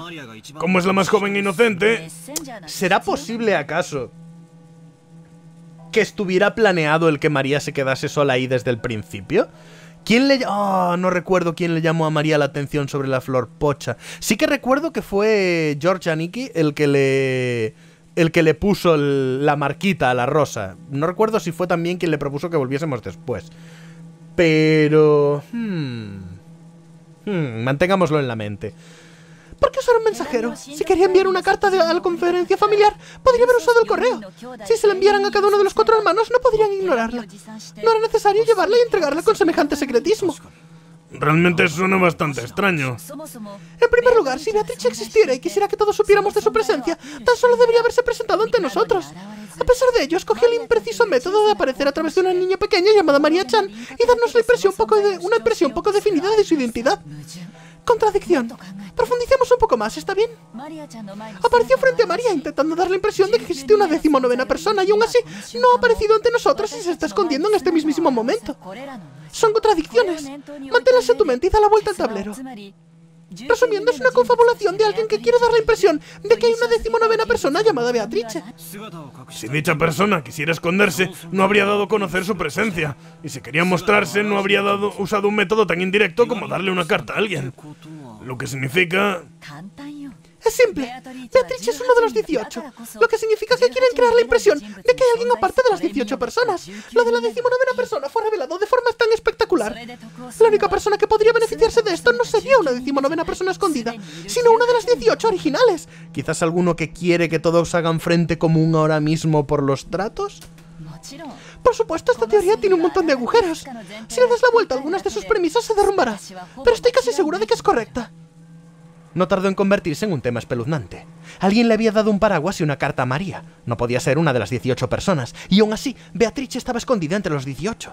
¿Qué planeaba esa persona al esconder su identidad y fingir ser Beatrice? Sospechaba que podría ser una actuación de María Chan, pero los contenidos del mensaje eran extremadamente complejos, así que es difícil de creer que ella lo haya preparado por sí misma. Pero no puedo llegar a negar la posibilidad de que esté trabajando con alguien. Espera un momento, María tiene nueve años, ¿verdad? ¿Qué demonios podría estar tramando y con quién? ¿Y su carácter serio, es excesivamente honesto y obediente? Sí, ¿qué clase, sé qué clase de persona es María Chan. Pero justo por eso creo que es posible. Es una soñadora que no puede evitar creer ciegamente en la existencia de las brujas. Así que si una persona apareciera frente a ella y asegurara que es la bruja Beatrice, María Chan estaría tan feliz que se lo tragaría, o eso creo. ¿Estás diciendo que si alguien se disfrazara con ese extravagante vestido del retrato, engañar a María no, no resultaría difícil? Por supuesto que con ese razonamiento las mujeres nos convertimos en las sospechosas principales. Sí. De cualquier forma, ¿se encontró María con alguien? Conocer la respuesta a esa pregunta sería la mejor clave para resolver este acertijo. Pero dicha clave se ha encerrado obstinadamente en su corazón. Espera. ¿Cuándo dijo ¿Cuándo dijo María que le dio el, el paraguas? Porque sabemos que se lo dio ella, pero, pero nos dijo que no lo tenía antes de empezar a buscar y que, y que Beatrice se lo dio al encontrársela bajo la lluvia, porque no sería imposible, si este no es el caso, que en otro momento distinto Beatrice le diera el paraguas y le diera el, el tema. Que a ver, no tenía por qué saber que iba a llover, pero podría joder las coartadas, ¿sabéis? Deberíamos tener eso en cuenta, que no es probable, pero deberíamos tenerlo en cuenta. No se, no se sabe por dónde nos va a salir este juego. Si, a ver, la, cosa es, si este juego es tan famoso, y teniendo en cuenta que, que, tiene mucho relleno y mucha japonesada, debe ser que el misterio es la hostia. Entonces, mi, razonamiento es este. Si la historia en sí, si, si el misterio es tan bueno, probablemente me va a meter un twist que no me voy a esperar. Y si no me lo voy a esperar es porque hay que pensar muy fuera del tiesto. Así que voy a intentar mantener cualquier posibilidad que se me ocurra presente y, y ya iremos eliminando las imposibles hasta que la única que quede sea la correcta pero dicha clave se ha encerrado obstinadamente en su corazón. Todos han negado la existencia de la bruja sin escucharla siquiera, y la bombardearon con preguntas sobre la identidad de Beatrice. No creo que María Chan se abra a los adultos. Yo creo que si fuésemos en plan de ¿En serio conociste a Beatrice? ¡Qué guay! Era, ¿No era más vieja que en el cuadro? ¿Era igual? ¡Oh, vaya! ¿Y qué peinado llevaba? ¿Y qué vestido llevaba? Yo creo que si le fuéramos así nos haría caso. En el poco iluminado vestíbulo frente al retrato de Beatrice, María estaba llorando.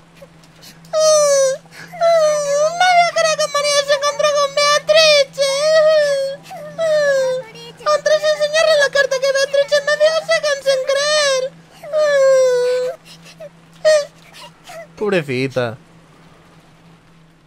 Es normal que ella se lo crea, porque es pequeña, es que es una niña. Como sea, María Chan es quien tiene la clave. ¡La clave! ¿Es posible que ya nos hayan dado la llave, entonces? La clave del misterio de si Beatriz está entre los 18 o es una decimonovena persona. María es bastante terca, ¿verdad? Cuando se enfada es muy difícil conseguir que se sienta mejor. Padre Kun, creo que un joven como tú podría animarla con más facilidad que una adulta como yo. Cuando se sienta mejor, intenta preguntárselo. Sé que no te preocupa todo lo, del reparto de la herencia, pero ¿no piensas que este misterio en una lujosa mansión, occidental es bastante emocionante? ¿Quién le dio la carta a María Chan? Tengo una terrible curiosidad intelectual. Aunque esté relacionado con esa pesadez del dinero, es un problema difícil y excitante. Los adultos pueden ser realmente horribles. Me encogí de hombros sorprendido pero, se, pero se había dado cuenta. Se había dado cuenta del desprecio que sentí cuando escuché la turbulenta discusión de nuestros padres, y estaba intentando cambiar mi estado de humor. Por lo menos me había hecho sentir lo suficientemente bien como para soltar insultos. No era mi verdadera madre, así que nunca me apetecía llamarla mamá, pero me hacía pensar, es una auténtica adulta. Hey, mocosos, así que aquí estabais. Kiri, realmente te llevó mucho tiempo arreglar tu maquillaje, ¿no? A partir de ahora creo que yo también te empezaré a llevarlo. ¡Buen truco! Lo siento, el maquillaje de una mujer lleva mucho tiempo. Entonces, ¿cómo ha ido la discusión sin mí? Seguro que era totalmente pacífica y armoniosa. Kiriesa me dio un codazo en mi punto débil bajo el brazo. Decidimos que sería mejor tomarnos un descanso para tranquilizarnos un poco. Parece que durará toda la noche. Me dan ganas de llorar. Su forma de hablar no había cambiado, pero no podía esconder del todo su fatiga. No puedo decir que sintiera compasión, pero estaba lamentablemente comparado con su yo normal y enérgico. Estaba lamentable comparado. Como sea, esta lluvia es horrible. No quiero volver a, la casa de huéspedes. Parece que Natsuhine-san ha hecho preparaciones para que podamos pasar la noche aquí en la mansión. Yo he tenido una suerte de perros, porque estaba lloviendo a cántaros, ¿vale? Pero lloviendo fuerte, fuerte, fuerte, como hacía tiempo que no llovía y tenía que hacer unas gestiones. Así que me puse un chubasquero de estos impermeables y salí a la calle con él para, para realizar dichas gestiones. Entonces, al otro lado de la ciudad, muy lejos, cuando por fin he terminado con, dichas gestiones, he salido del edificio y me he encontrado con un sol de la hostia. Y ahí me veis, yo ya empapado de base, con un puto chubasquero que no transpira, caminando bajo el sol a tope. Llegué a casa empapadísimo, tío. Eh, como sea, esta lluvia es horrible. No quiero volver a la casa de huéspedes. Parece que Natsuhine-san ha hecho preparaciones para que podamos pasar la noche aquí, en la mansión. ¿Qué hacemos? No necesitamos pensar en ello hasta haber acabado, ¿verdad? Si te quedas sin la energía suficiente para volver a nuestra habitación, podemos dejar que cuiden de nosotros. Cierto. Podemos pensar en ello luego.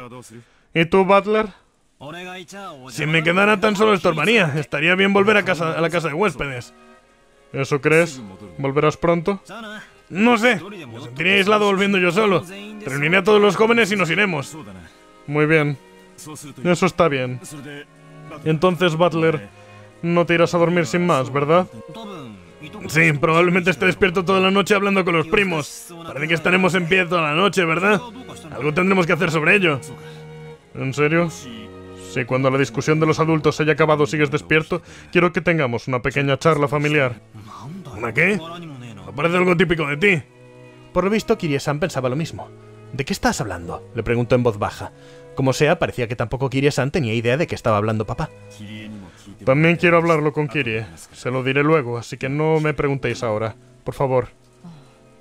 Hmm, ¿Será que él igual sí que sabe algo de este tema? No creo que nadie ignore tanto a su familia como este viejo bastardo. Y él ha sido quien nos pedía que tuviéramos una charla familiar. Tanto Kirie como yo nos quedamos boquiabiertos. No pongáis esas caras de miedo. Yo debería ser el asustado. De cualquier manera... En ese momento se tragó sus palabras por un instante. Aunque echarse aires de importancia, echarse aires de importancia no era muy típico de él. Me estás asustando, papá. Toda la familia está reunida aquí ahora mismo, ¿verdad? No lo exageres tanto y suéltalo.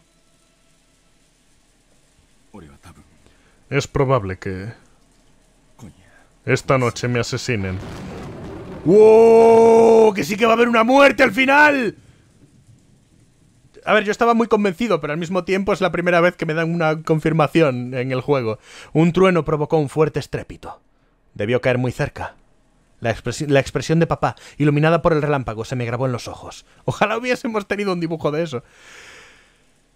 La expresión de papá, que siempre estaba tan seguro de sí mismo y llevaba una expresión burlesca, estaba extrañamente débil por algún motivo que no sé explicar. Estaba tan agotado que no parecía el de siempre. ¿Qué? ¿Qué? ¿De qué estás hablando? No pareces el de siempre. estoy de acuerdo. ¿Qué te ha ocurrido? Pareces tan tímido de repente. No es típico de ti. Voy a arreglar mi maquillaje. No me sigáis. Papá se dio la vuelta débilmente. Tras ello, Kiria y yo nos quedamos solos, todavía boquiabiertos. ¿Qué ha dicho? ¿Esta noche será asesinado? No creerás esa mierda que esa misteriosa carta lo haya asustado. ¿No habrá estado viendo demasiadas películas de asesinatos en serie? Kirie-san no contestó a mis alegres palabras y se quedó ensimismada mirando cómo desaparecía la espalda de mi padre. Butler-kun, cuando dijiste que Rudolf-san, a Rudolf-san que dijera algo, se fue sin decirnos nada. Aunque seguro que tenía algo que contarnos a los dos, no te respondió. ¿Por qué? Da vuelta al tablero. ¿Y qué ves cuando lo haces? Pues que no podía. Está en la contradicción de que quería... Decía que quería hablar, pero no podía. Espera, ¿puedes ver algo desde la perspectiva de mi padre? Sí, puedo ver algo. Quiere hablarnos de algo, pero no tiene el valor para sacar el tema. Lo que quiere decir es, en ese caso, síganme y hablen conmigo y pregúntenme sobre ello. Ah, sí, bueno, tú lo conoces mejor. Cuando dijo no me sigan, quería decir lo contrario. ¿Ves? Por eso es tan difícil ligar. Síganme y obliguenme a responder. ¿En serio, qué niño más mimado? ¿Qué? ¿Realmente puedes razonarlo de esa forma? ¡Es ridículo! ¿Pueden los grandes detectives deducir las emociones y sentimientos entre hombres y mujeres? Solo voy a decir que Kirie viste un poquito estilo Kirigiri. Igual es una detective. No pueden, ¿verdad? Descubrir los sentimientos del sexo opuesto es un arte mucho más avanzado que exponer los trucos de un complejo crimen. Si me lo preguntas, te diré que las novelas de romance tienen misterios mucho más profundos que las mejores novelas de misterio. Oh, vale, entonces leeré 50 sombras de Grey y Crepúsculo, que es esencialmente la misma historia, pero con más sexo. Menos sexo. Entiendo. Así que es así. Estoy junto a ese chiquillo mimado. Bueno, no la misma historia, los mismos personajes. Normalmente le encanta fanfarronear, pero esta noche está completamente agotado por tan acalorada discusión. Supongo que quiere a alguien en quien apoyarse en este momento. Y responder a esa necesidad es el deber de su pareja. Suena apasionado. Entonces dejaré ese viejo bastardo en tus manos. Sí, déjamelo a mí. Llamé a Kirie cuando esta ya estaba marchándose. ¿Eh? ¿Qué? Mm, quería darte las gracias. Gracias a ti me he animado bastante. Eso es bueno. La comunicación es importante. Tras responder con un guiño, Kirie-san persiguió a papá. Vale. Natsuki estaba en el pasillo escasamente iluminado. De cuando en cuando sonaba el estrepito de un trueno, pero eso no tenía efecto alguno en la expresión de ella. Tenía el rostro de una persona completamente agotada. La discusión que acababa de ocurrir entre los familiares en el salón del comedor seguía repitiéndose en la cabeza de Natsuki. Beatrice había proclamado que además del oro, toda la herencia de la familia Oshiromiya sería entregada a quien resolviera el acertijo. En otras palabras, ¡la vaca! Vale, perdón. En otras palabras, quería minar la absoluta seguridad de que Kraus, como primogénito, sería sucesor del liderazgo de la familia. Normalmente los otros hermanos no, no, tendrían la oportunidad de heredar el liderazgo. Para ellos esta propuesta de Beatrice era bastante conveniente. Estaba claro que aceptarían la propuesta de Beatrice. No era necesario eh, jugar a ese torpe juego de detectives. Sabía que esta decimonovena persona, Beatrice, no existía. Claramente, Beatrice no era más que un personaje ficticio, usado para entregar un mensaje escrito por el mismísimo Kinso. Un segundo, más agua. ¿Por qué no me llegó, aparentemente? La prueba era que él se mantenía obstinadamente neutral en lo referente a la autenticidad de la carta. Ignoraba completamente, totalmente las imprudentes afirmaciones que no debía poder ignorar, que había cedido el anillo del líder. En resumen, Kinso había admitido silenciosamente que la carta era suya. Vale, esto no me lo esperaba. Pensé que el objetivo dentro de la historia de Kirie en, la escena anterior había sido darle la oportunidad al, al, jugador de darse cuenta de que a lo mejor había una mentira y, no había una Beatrice. Pero el hecho de que la siguiente persona también dé por hecho que no hay una Beatrice me hace pensar que entonces lo que está intentando hacer el juego es desviarme y que piense que no hay una Beatrice cuando en realidad sí hay una, una Beatrice. Yo lo que habría hecho eh, habría sido, eh, si no hay una Beatrice, habría sido que la siguiente persona sí esté convencida de que hay una Beatrice. Y entonces, al, superponerse las dos posibilidades, resulta más difícil eh, deducir cuál es. Pero veremos cómo avanza. que la cartera suya. Lo más probable era que uno de los sirvientes le hubiera entregado la carta a María.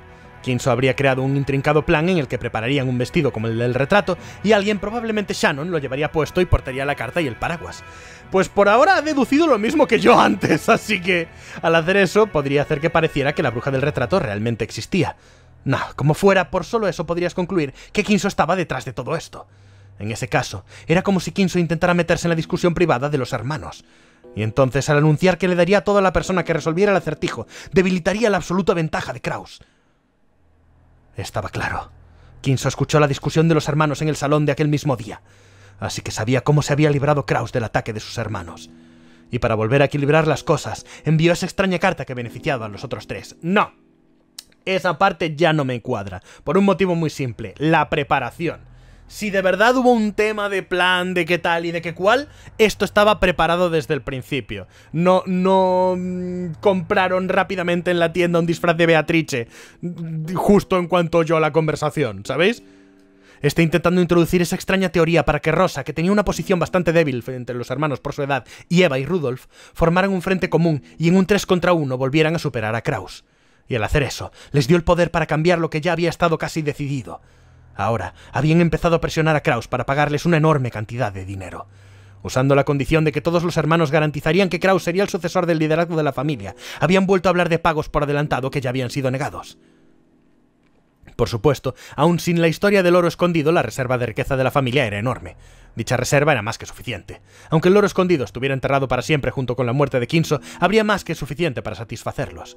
Por tanto, aunque no estuvieran tan interesados en el propio oro, Kinso habría conseguido instar, en el, eh, instar el largo terror a que si alguien encontraba el oro, esa persona se convertiría en líder de la familia, y alguien se aprovecharía de ese talón de Aquiles tarde o temprano. La única persona con esta horrible debilidad era el sucesor del liderazgo, Kraus. Los otros hermanos habían encontrado... No, Kinso les habría dicho algo que solo a Kraus le haría perder, y se habían aferrado a ello con todas sus fuerzas. Natsuhi, como la única aliada de Kraus en esta dolorosa posición, y a la vez como su esposa, quería luchar junto a él. Intentó explicar que lo del oro era una farsa y que no tenía por qué comprometerse. Kraus siempre le había dicho a Natsuhi, le había dicho a todos los hermanos. Siempre, siempre había dicho que el oro escondido no era más que una ilusión creada por Kinso, pero a lo mejor el propio Kraus creía en ella. Por tanto, como su esposa, Natsuhi le había creído y con esos cimientos había apoyado a su marido. Y aún así, las palabras de Natsuhi no alcanzaron a Kraus. Aunque Natsuhi había luchado con todas sus fuerzas, Kraus seguía luchando en solitario e intentaba llegar a un acuerdo con los otros tres hermanos. Se preguntó triste y débilmente por qué no podía servirle de nada y empezó a enfadarse. Ocurrió cuando decidieron descansar para tranquilizarse un poco. Natsuhi descargó su cólera contra Kraus. Furiosa le preguntó por qué no podía serle de utilidad. Él le había dicho que quería hablarle de algo y la llevó a una habitación donde no tenía permitido entrar. Estaba cerrada con un candado de aspecto pesado, y tan solo mirarlo le daba sensación desagradable. ¿Qué hay dentro? No hay motivo para que te preocupes de lo que dicen esos tres, o incluso esa sospechosa persona que se llama a sí misma Beatrice. Después de todo, el oro es solo una artimaña creada por, por padre. No hay forma de que algo así pueda ser encontrado. Claramente será sucesor de la familia. ¿A qué le tienes miedo? Kraus apartó el candado de la puerta e, incluso, e indicó a Natsuhi que entrara. Entra. No hace falta que me digas... Vale. ¿Qué es esto? Hay algo que quiero enseñarte. Es la primera vez que se lo enseño a alguien. mi tercer testículo. Natsuki abrió tímidamente la puerta con la duda reflejada en su expresión. La oscuridad era total. Buscó un interruptor para encender las luces, pero al ser la primera vez que entraba en esa habitación, no sabía dónde estaba. Espero que ahora no la dejen cerrada. Kraus entró tras ella, empujándola al interior, y cuando cerró la puerta antes de encender las luces, fueron tragados por la oscuridad. El sonido de Kraus cerrando la puerta con llave resonó en la oscuridad. ¿Qué, estás haciendo? La- las luces. Voy a encenderlas. Supongo que quería evitar que cualquier persona desde fuera pudiese ver el interior. Espera. Tal y como había dicho, cuando Kraus pulsó un interruptor en el muro, se encendió una parpadeante luz e, e iluminó la habitación. Eso es. Natsuki se quedó sin aliento. La habitación no tenía ventanas y a primera vista parecía vacía. En medio de ella había una mesa pequeña y redonda y las luces iluminaban solo esa mesa, como si fuese la protagonista de una obra de teatro. Sobre la mesa había un mantel rojo de diseño elaborado cubierto de polvo, y sobre ello había algo del tamaño de un- del brazo de un adulto. Ese algo dejó a Natsuki sin aliento. ¿Un lingote de oro? Ahí está. Es un lingote de oro de una pureza impresionante. Sin esto, nadie habría creído en la leyenda del oro. Era un lingote de oro sólido. Aun con la débil luz centelleaba con los nobles y dignos destello- destellos del oro. No es un lingote propiamente dicho. Ni siquiera sé si fue eh, fundido dentro o fuera del país. Se necesitaba mucha habilidad para hacer un lingote de oro sólido de alta calidad, y para verificar esa pureza, lo normal era que la fundición y el banco que la garantizaban imprimieran su nombre en el oro. Sin embargo, este lingote no tenía esa clase de sello. Esta misteriosa barra de oro venía de una fundición desconocida. Acércate. No hay nada que temer. Es solo una barra de oro. Natsuki, tras las palabras de Kraus, se, arre- se acercó tímidamente al lingote. Aquí mismo. Kraus señaló la superficie del lingote. Natsuki se concentró en esa sección. No sé si se refiere a que hay una marca porque le hicieron un análisis o si es en plan de el evidente tema de la familia. Y ahí mismo estaba plasmada la cresta del águila de una ala. Natsuki volvió a quedarse sin aliento. Así es.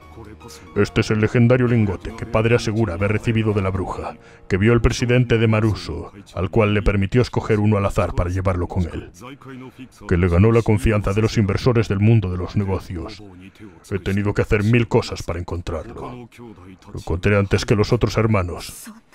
¿Cómo puede? Bueno, podrías entregar esto y decir, ve, lo encontré todo fuera de mi isla. ¿Sabéis cómo os digo? Entonces, la leyenda del oro de padre es. Existe. El oro que Ushiromiya Kinso recibió de Beatrice existe. ¿Cómo puede? ¿Cómo puede ser que exista? Natsuki estaba conmocionada. Kraus siempre había dicho que el oro de Kinso era solo una ilusión, así que como su esposa lo había creído. Sin embargo, la realidad era diferente. ¡No me digas! Tenía pruebas concluyentes, así que tenía mucha más seguridad que los otros hermanos de que la leyenda del oro era cierta. Por ello, Kraus había estado aterrorizado por la posibilidad de que alguien que no fuera él encontrara el oro que no había conseguido... Joder, con el que no había conseguido toparse, lo cual le haría perder todo. Pero para Natsuki, esta verdad era más que suficiente para romper su corazón. Había pensado que como la esposa de Kraus sería su mayor confidente, por lo que siempre había estado apoyándole incondicionalmente. Y aún así, le había escondido lo del oro hasta ese mismísimo día. ¿Por qué? He sido tan indigna de tu confianza. No quería decir eso. Simplemente no había necesidad alguna de mencionarlo. Eso es todo. Lo que una esposa significa para ti. Cálmate. Emocionarte con demasiada facilidad es uno de tus malos hábitos. Tú eres quien hace que me comporte así. Te he estado apoyando como una esposa desde que me casé en esta familia. Por tu bien abandoné la familia en la que nací. Te he ofrecido mi corazón y mi cuerpo para servirte. Y a cambio... ¿Qué es esto? ¿Cómo has... ¿Cómo has podido? Kraus hizo una mueca algo molesto. Su expresión dejaba claro cuánto le disgustaba esa parte de Natsuki. No parece que vaya a serte de utilidad. Ah, Está bien. Puedo resolver los problemas con los hermanos por mí mismo. No necesito tu ayuda. ¡Te equivocas! Este es un problema de la familia Oshiromiya. Es verdad que no puedo llevar la cresta familiar sellada en mi cuerpo, pero sigo siendo tu esposa. Aún así, ¿me estás diciendo que no soy capaz de ayudarte? ¿Es eso lo que estás diciendo? No quiero arriesgarme a que te envuelvas en todo esto. Probablemente solo empeorará aún más tus dolores de cabeza. Déjalo por hoy. Los hermanos tratarán los problemas de los hermanos. No, tienes no tiene nada que ver contigo. Eso es todo.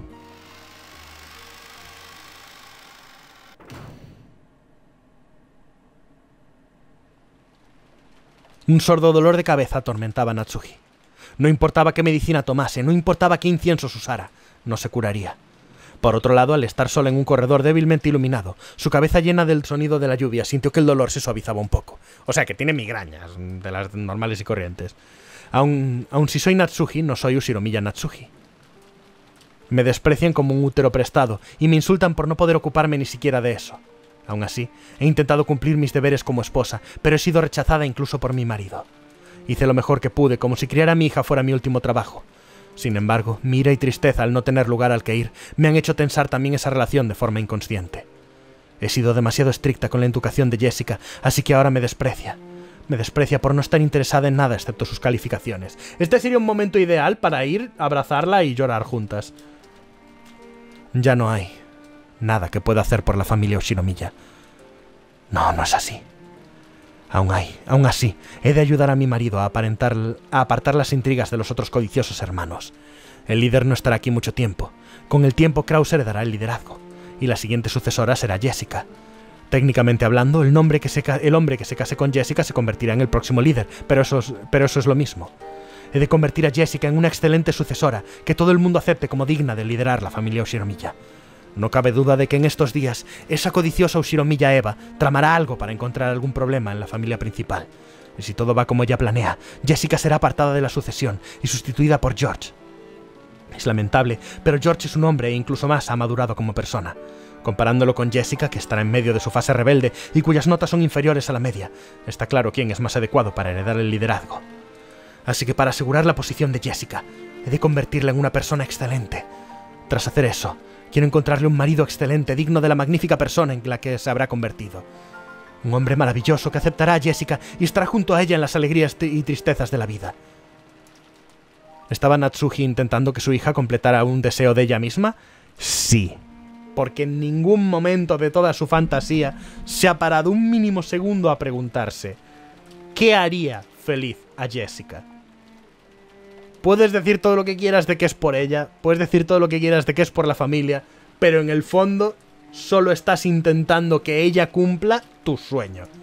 Y eso es algo que un padre nunca debe hacer. Un padre debe ayudar a un niño a que se mantengan sus oportunidades abiertas, debe ayudar a un niño a cumplir sus sueños, pero no debe intentar que el niño cumpla los sueños del propio padre. No debes intentar vivir a través de tus hijos. Natsuhi recordó los días en los que no tuvo otra elección que unirse a la familia Oshiromiya por este destino inevitable. Había intentado bloquear aquellos recuerdos. Había olvidado conscientemente todo aquello y había puesto atención en su vida como Ushiromiya Natsuhi. Y había construido una nueva vida. Pero parecía que en ese instante todo aquello había sido rechazado. ¿Cómo debo pensar mientras vivo mi vida? No lo sé. Natsuhi apoyó su cabeza contra el cristal de la ventana. El cristal, frío gracias a la lluvia que lo golpeaba, era en cierto sentido refrescante. Aunque no debía tener sentimientos, parecía que era la única cosa que podía comprender a Natsuhi. A esas alturas, aunque alguien apareciera, es probable que a Natsuhi no le importara el estar en ese estado. Pero le importaba, porque era su querida hija.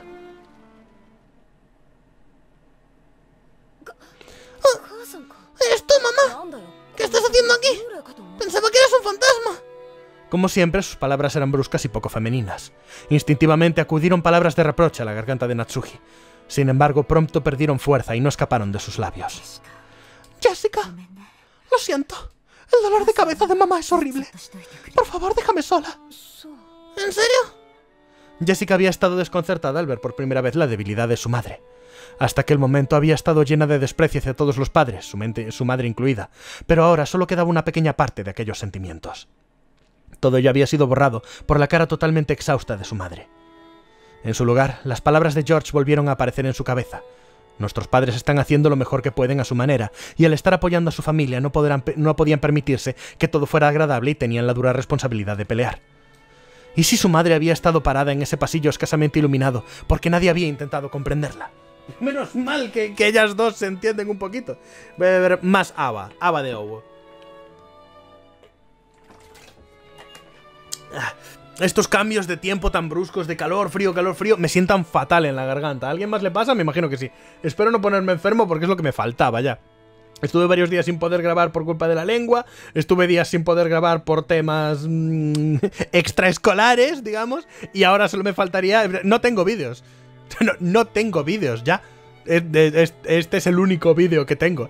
Así que... Um, sí, estoy para ponerme enfermo yo ahora. Eh, porque nadie había intentado comprenderla. A Jessica no le agradaba su madre, por lo que sería difícil consolar a su madre aun si se veía un poco frágil. Por tanto, cuando aún así intentó consolar a su madre, tuvo que buscar las palabras desde el fondo de su corazón, apretando ambos puños. Parece que realmente tienes las manos llenas por lo de la discusión. No tiene nada que ver contigo. Por favor, ve a algún otro lado. Tu dolor de cabeza es muy grave. ¿Debería ir a por algo de medicina? No tienes que molestarte. Te lo estoy pidiendo, así que por favor déjame sola. Natsuki no estaba tratando de ser poco sociable. Ella solo quería que su hija se fuera lejos, para que así no tuviera que encontrarse con el mal humor de su madre. Ya, pero al alejarla así de ti creo que le estás haciendo más daño. Pero era imposible que Jessica se diera cuenta de sus intenciones. Sí. Jessica bajó la cabeza con aspecto triste. Mirando esa expresión, Natsuki se dio cuenta de que Jessica estaba intentando reunir fuerzas para ser amable con su madre. Le dio una sacudida a su cabeza para alejar sus propios sentimientos hirientes. Entonces me iré. Estaré con el resto de primos para no molestar a los adultos. Hasta luego. Espera. Ahí, ahí. Dale un abrazo, anda. Llamó a Jessica, que estaba intentando irse con aspecto solitario, para que se parara. ¿Qué? Gracias por ser tan considerada. No estaría bien que me fuera a dormir y te dejara sola. No hables así, trae mala suerte. Te estabas preocupando por mí. Ya me encuentro bien. Adiós. Si me quedo aquí más tiempo, mi expresión endeble va a acabar por hacer que mi hija se sienta incómoda. Pensando esto, Natsuki dejó a Jessica con palabras de gratitud y se preparó para irse. Esta vez fue Jessica quien llamó a espaldas de su madre. Las espaldas de su madre. Natsuki se detuvo y se volvió, preguntando qué necesitaba. Pero la propia Jessica no tenía muy claro por qué la había detenido, y durante un tiempo sonrió amargamente, murmurando mientras dudaba sobre qué decir. Estaba revolviendo su bolsillo cuando su mano tocó algo y lo sacó. Oye, mamá, me han amuleto contra la magia? Eh, estoy bastante segura de que lo tenías que colgar en el pomo de la puerta. no me acuerdo. No hay ninguna razón para que yo lo tenga, así que te lo puedes quedar. Era el amuleto de escorpión que María le había dado ese día en la playa. Aunque María le había hablado de sus diversos efectos, en ese instante Jessica estaba en blanco y era apenas capaz de decir incluso eso. Jessica, pensando que de todas maneras lo más probable sería que su madre no lo aceptara, retiró inmediatamente la mano que había alargado agarrando el amuleto. Así que cuando Natsuki volvió a por él, Jessica estaba extremadamente sorprendida. ¿Qué es esto? ¿Algún tipo de regalo? Bueno, es, creo que es algo por el estilo, sí. No puedes esperar realmente un amuleto que, que parece un juguete sea efectivo. Pero su madre agarró su mano y aceptó el amuleto de escorpión. Gracias. Lo trataré con cuidado. Un día de estos a cambio, ¿por qué no te doy un amuleto que era importante para mí cuando era niña? No es como si te lo hubiera dado por eso. Pero bueno, si tú lo dices... Entonces me voy a descansar por ahora. Mi dolor de cabeza es horrible. Intenta no quedarte levantada hasta muy tarde. ¡Claro! Natsuki puso el amuleto en su bolsillo y se dio la vuelta. Entonces desapareció en el largo vestíbulo.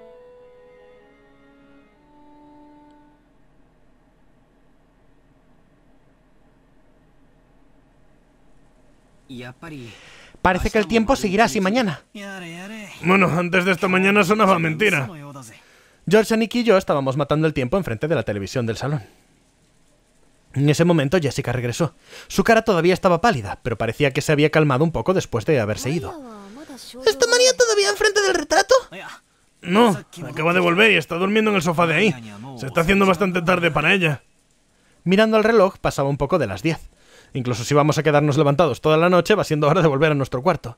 Mi madre tiene una habitación preparada para nosotros en la mansión, pero... ¿Qué hacemos? Creo que preferiría volver a la casa de invitados. A juzgar por el aspecto de nuestros padres, creo que sería mejor si no estuviéramos en la mansión. Estoy de acuerdo. Parece que nos están diciendo los niños que nos metamos en nuestros propios asuntos y nos mantengamos fuera de su camino. Hagamos eso, como pequeños niños y niñas buenos. Vamos a llevarnos a la niña, ¿no? Después de que discutiéramos eso, Rosa Basan entró en el salón.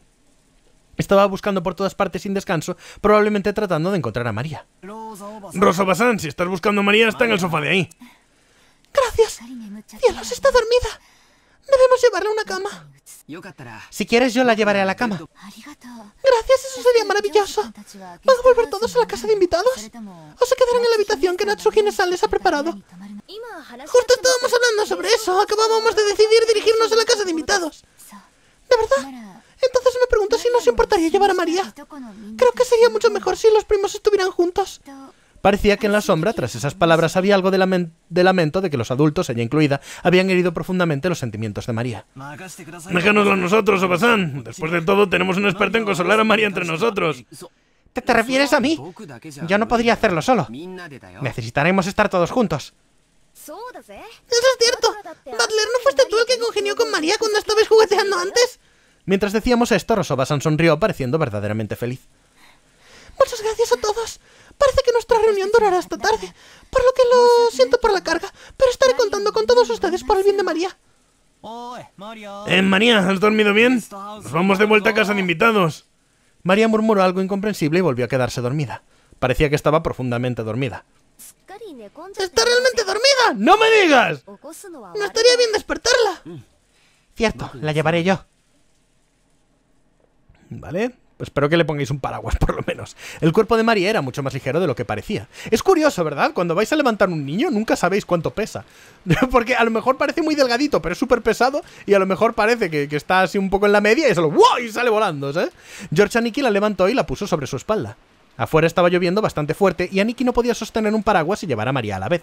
Parecía que Rosoba-san iba a venir con nosotros hasta la casa de invitados para ayudarnos. Sin embargo, cuando oyó la voz de Krauso-ji-san que la llamaba, se vio obligada a volver. ¡Qué mala suerte! Tengo que volver ahora. Todo el mundo está volviendo a la casa de invitados. Después de dejar el vestíbulo de camino a la entrada, la puerta de la habitación de los sirvientes se abrió y salió Shannon-chan. Está muy oscuro, así que por favor permítanme guiarlos.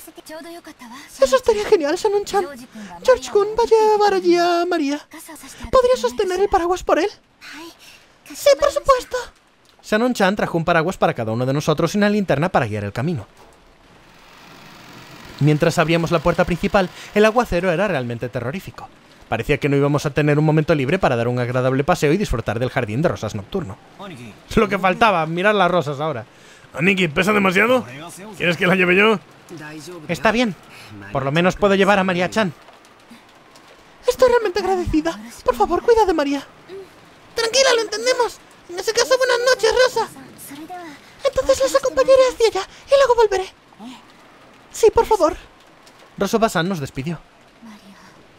María, lo siento por todo. La voz entre dientes de Rosa no alcanzó a la persona en cuestión, tampoco a los demás, sino que desapareció bajo el sonido de la lluvia.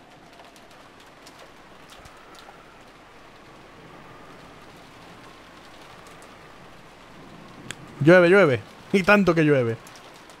Tras atravesar el lluvioso jardín de rosas, llegamos a la casa de invitados.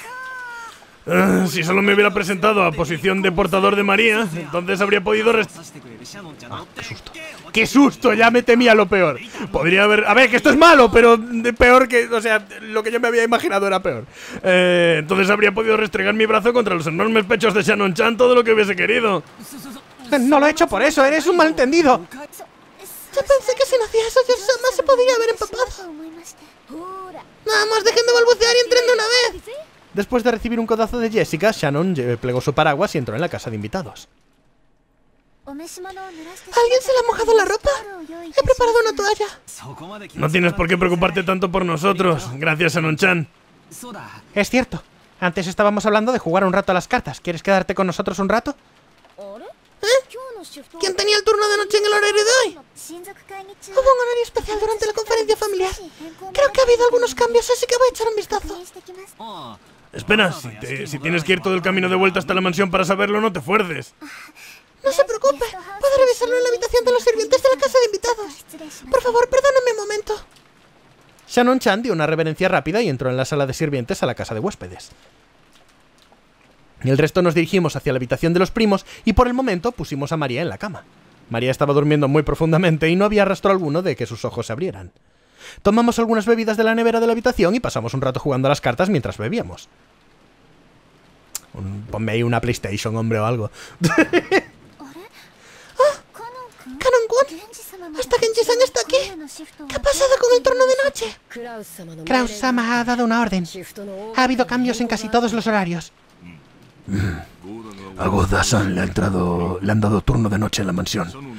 Tú y Canon tienen el turno nocturno en la casa de huéspedes. A Kumasawa-san y a mí nos han ordenado pasar la noche en la casa de invitados. Hace un momento nos han llamado diciendo que ustedes también deben permanecer aquí. Es un, es un cambio bastante grande. Pero es el que va a causar los asesinatos. Los turnos de la mansión y la casa de invitados han sido prácticamente invertidos, ¿no? Originalmente a Shannon y a Canon les habían dado los turnos de la mansión, mientras que el turno de noche en la casa de invitados, donde todos los familiares se alojaban, había sido asignado a Goda, que tenía mucha experiencia en el, en el entretenimiento. Kumasawa debía haberse quedado en la casa de invitados, mientras que Genji debería haberse quedado en la mansión. Sin embargo, parecía que Kraus había ordenado de repente que se modificaran los horarios. Los turnos de la mansión y la casa de invitados habían sido invertidos y Genji estaba pasando la noche en la casa de invitados. No, no, no, no, no sé, creo que necesito que me expliquen. ¿Ha habido algún cambio? En, ¿Dónde está Genji? ¿Dónde está Genji? Es probable que sea por la carta de Beatrice Sama. ¿Por qué es probable? Cuando una carta tan misteriosa como esa apareció, es solo natural que Kraus-sama sospechara de uno de nosotros. Servimos directamente al maestro, así que Kraus-sama hizo todo lo que pudo para alejarnos de la conferencia familiar. A Genji, Shannon y Canon se les estaba permitido llevar el escudo de la familia Ushiromiya, el águila de un ala, como los sirvientes que servían directamente a Kinso. Por supuesto, como estaban trabajando para la familia Ushiromiya, tenían que obedecer las órdenes de cualquier familiar, pero su único jefe era Kinso. Y como solo Kinso tenía el derecho de emplearlos, incluso Kraus no podría haberlos des- desestimado por su cuenta. Por eso a menudo se les veía como los vasallos de Kinso y se les rehuía. En realidad, Kinso raramente dejaría que nadie, aparte de ellos, entrara en su estudio. Se podría decir que ese repentino cambio de turno expresaba claramente la desconfianza que esto causaba. Teniendo en cuenta la esperanza de vida de Kinso, esta sería definitivamente la última conferencia familiar antes de que el problema de la energía apareciera. Además de ello, la carta que afirmaba ser de Beatrice había aparecido de la nada. Kraus definitivamente quería mantener alejados a los leales súbditos de Kinso de la mesa en que se iba a tratar una discusión tan importante y delicada. Si me disculpan, me retiraré a descansar. Si algo pasa, llámeme de inmediato. Para el amo, esta noche es especial. Por supuesto, Genji-sama. Genji asintió, se fue tras un biombo, se quitó su chaqueta y empezó a relajarse tras la tensión de todo un día. Sí, perdón. ¿Los que acaban de volver eran los niños? Sí, el resto de familiares están teniendo una conferencia en la mansión. Parecía como si fuera a alargarse hasta mucho más tarde. Eso sería bastante bueno. Ya es muy tarde y con este tiempo. Lo más seguro es que el resto de familiares pasen la noche en las habitaciones de la mansión.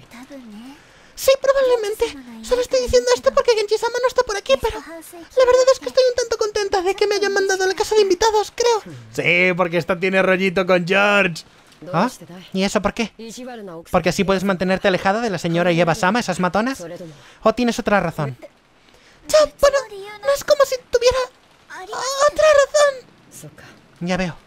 Entonces hagamos juntos el turno de medianoche. Cuento contigo, Nesan. Los niños me acaban de ofrecer ir a su habitación y jugar con ellos. Shannon bajó la cabeza disculpándose, mirando a Canon tímidamente. Él no intentó devolverle la mirada y habló bruscamente mientras suspiraba. Parecía que no planeaba ser indulgente con su hermana. No puedes. Te han asignado el turno de noche. Y además de eso, no es necesario que los muebles como nosotros respondan una invitación para jugar. ¿Lo entiendes, verdad? Sí, lo entiendo.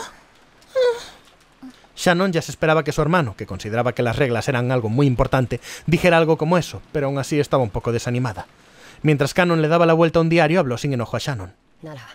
En ese caso, los niños te estarán esperando. Tendrás que ir a pedirles perdón y a decirles que tienes turno de noche y no podrás estar con ellos.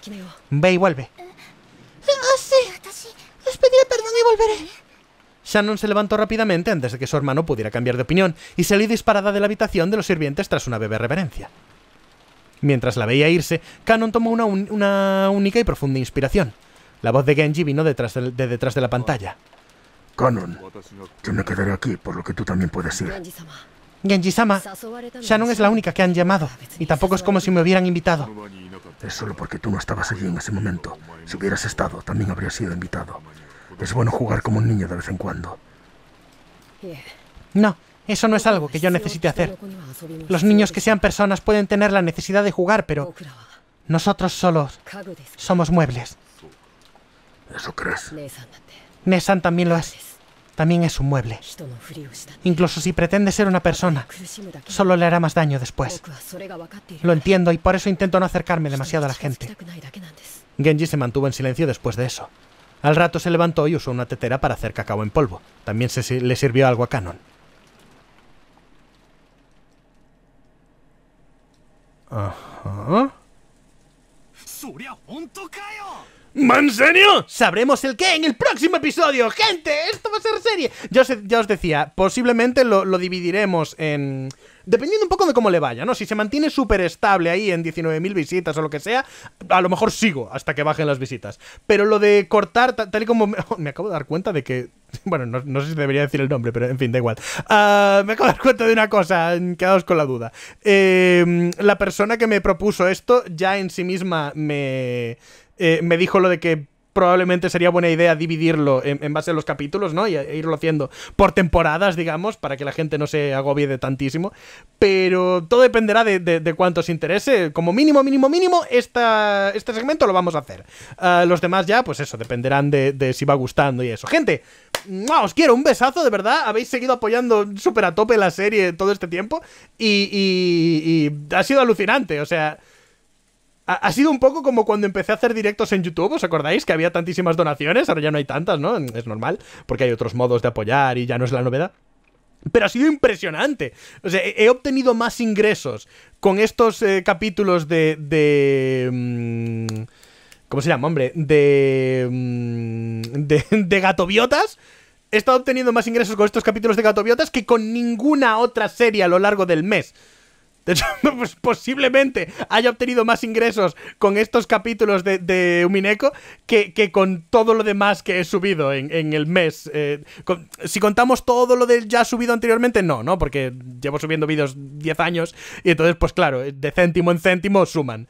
Pero impresionante, o sea, me, me habéis dejado loco. No me esperaba para nada esa recepción y de verdad que os la agradezco. En el próximo capítulo sabremos qué preocupa a Butler. ¡Chao!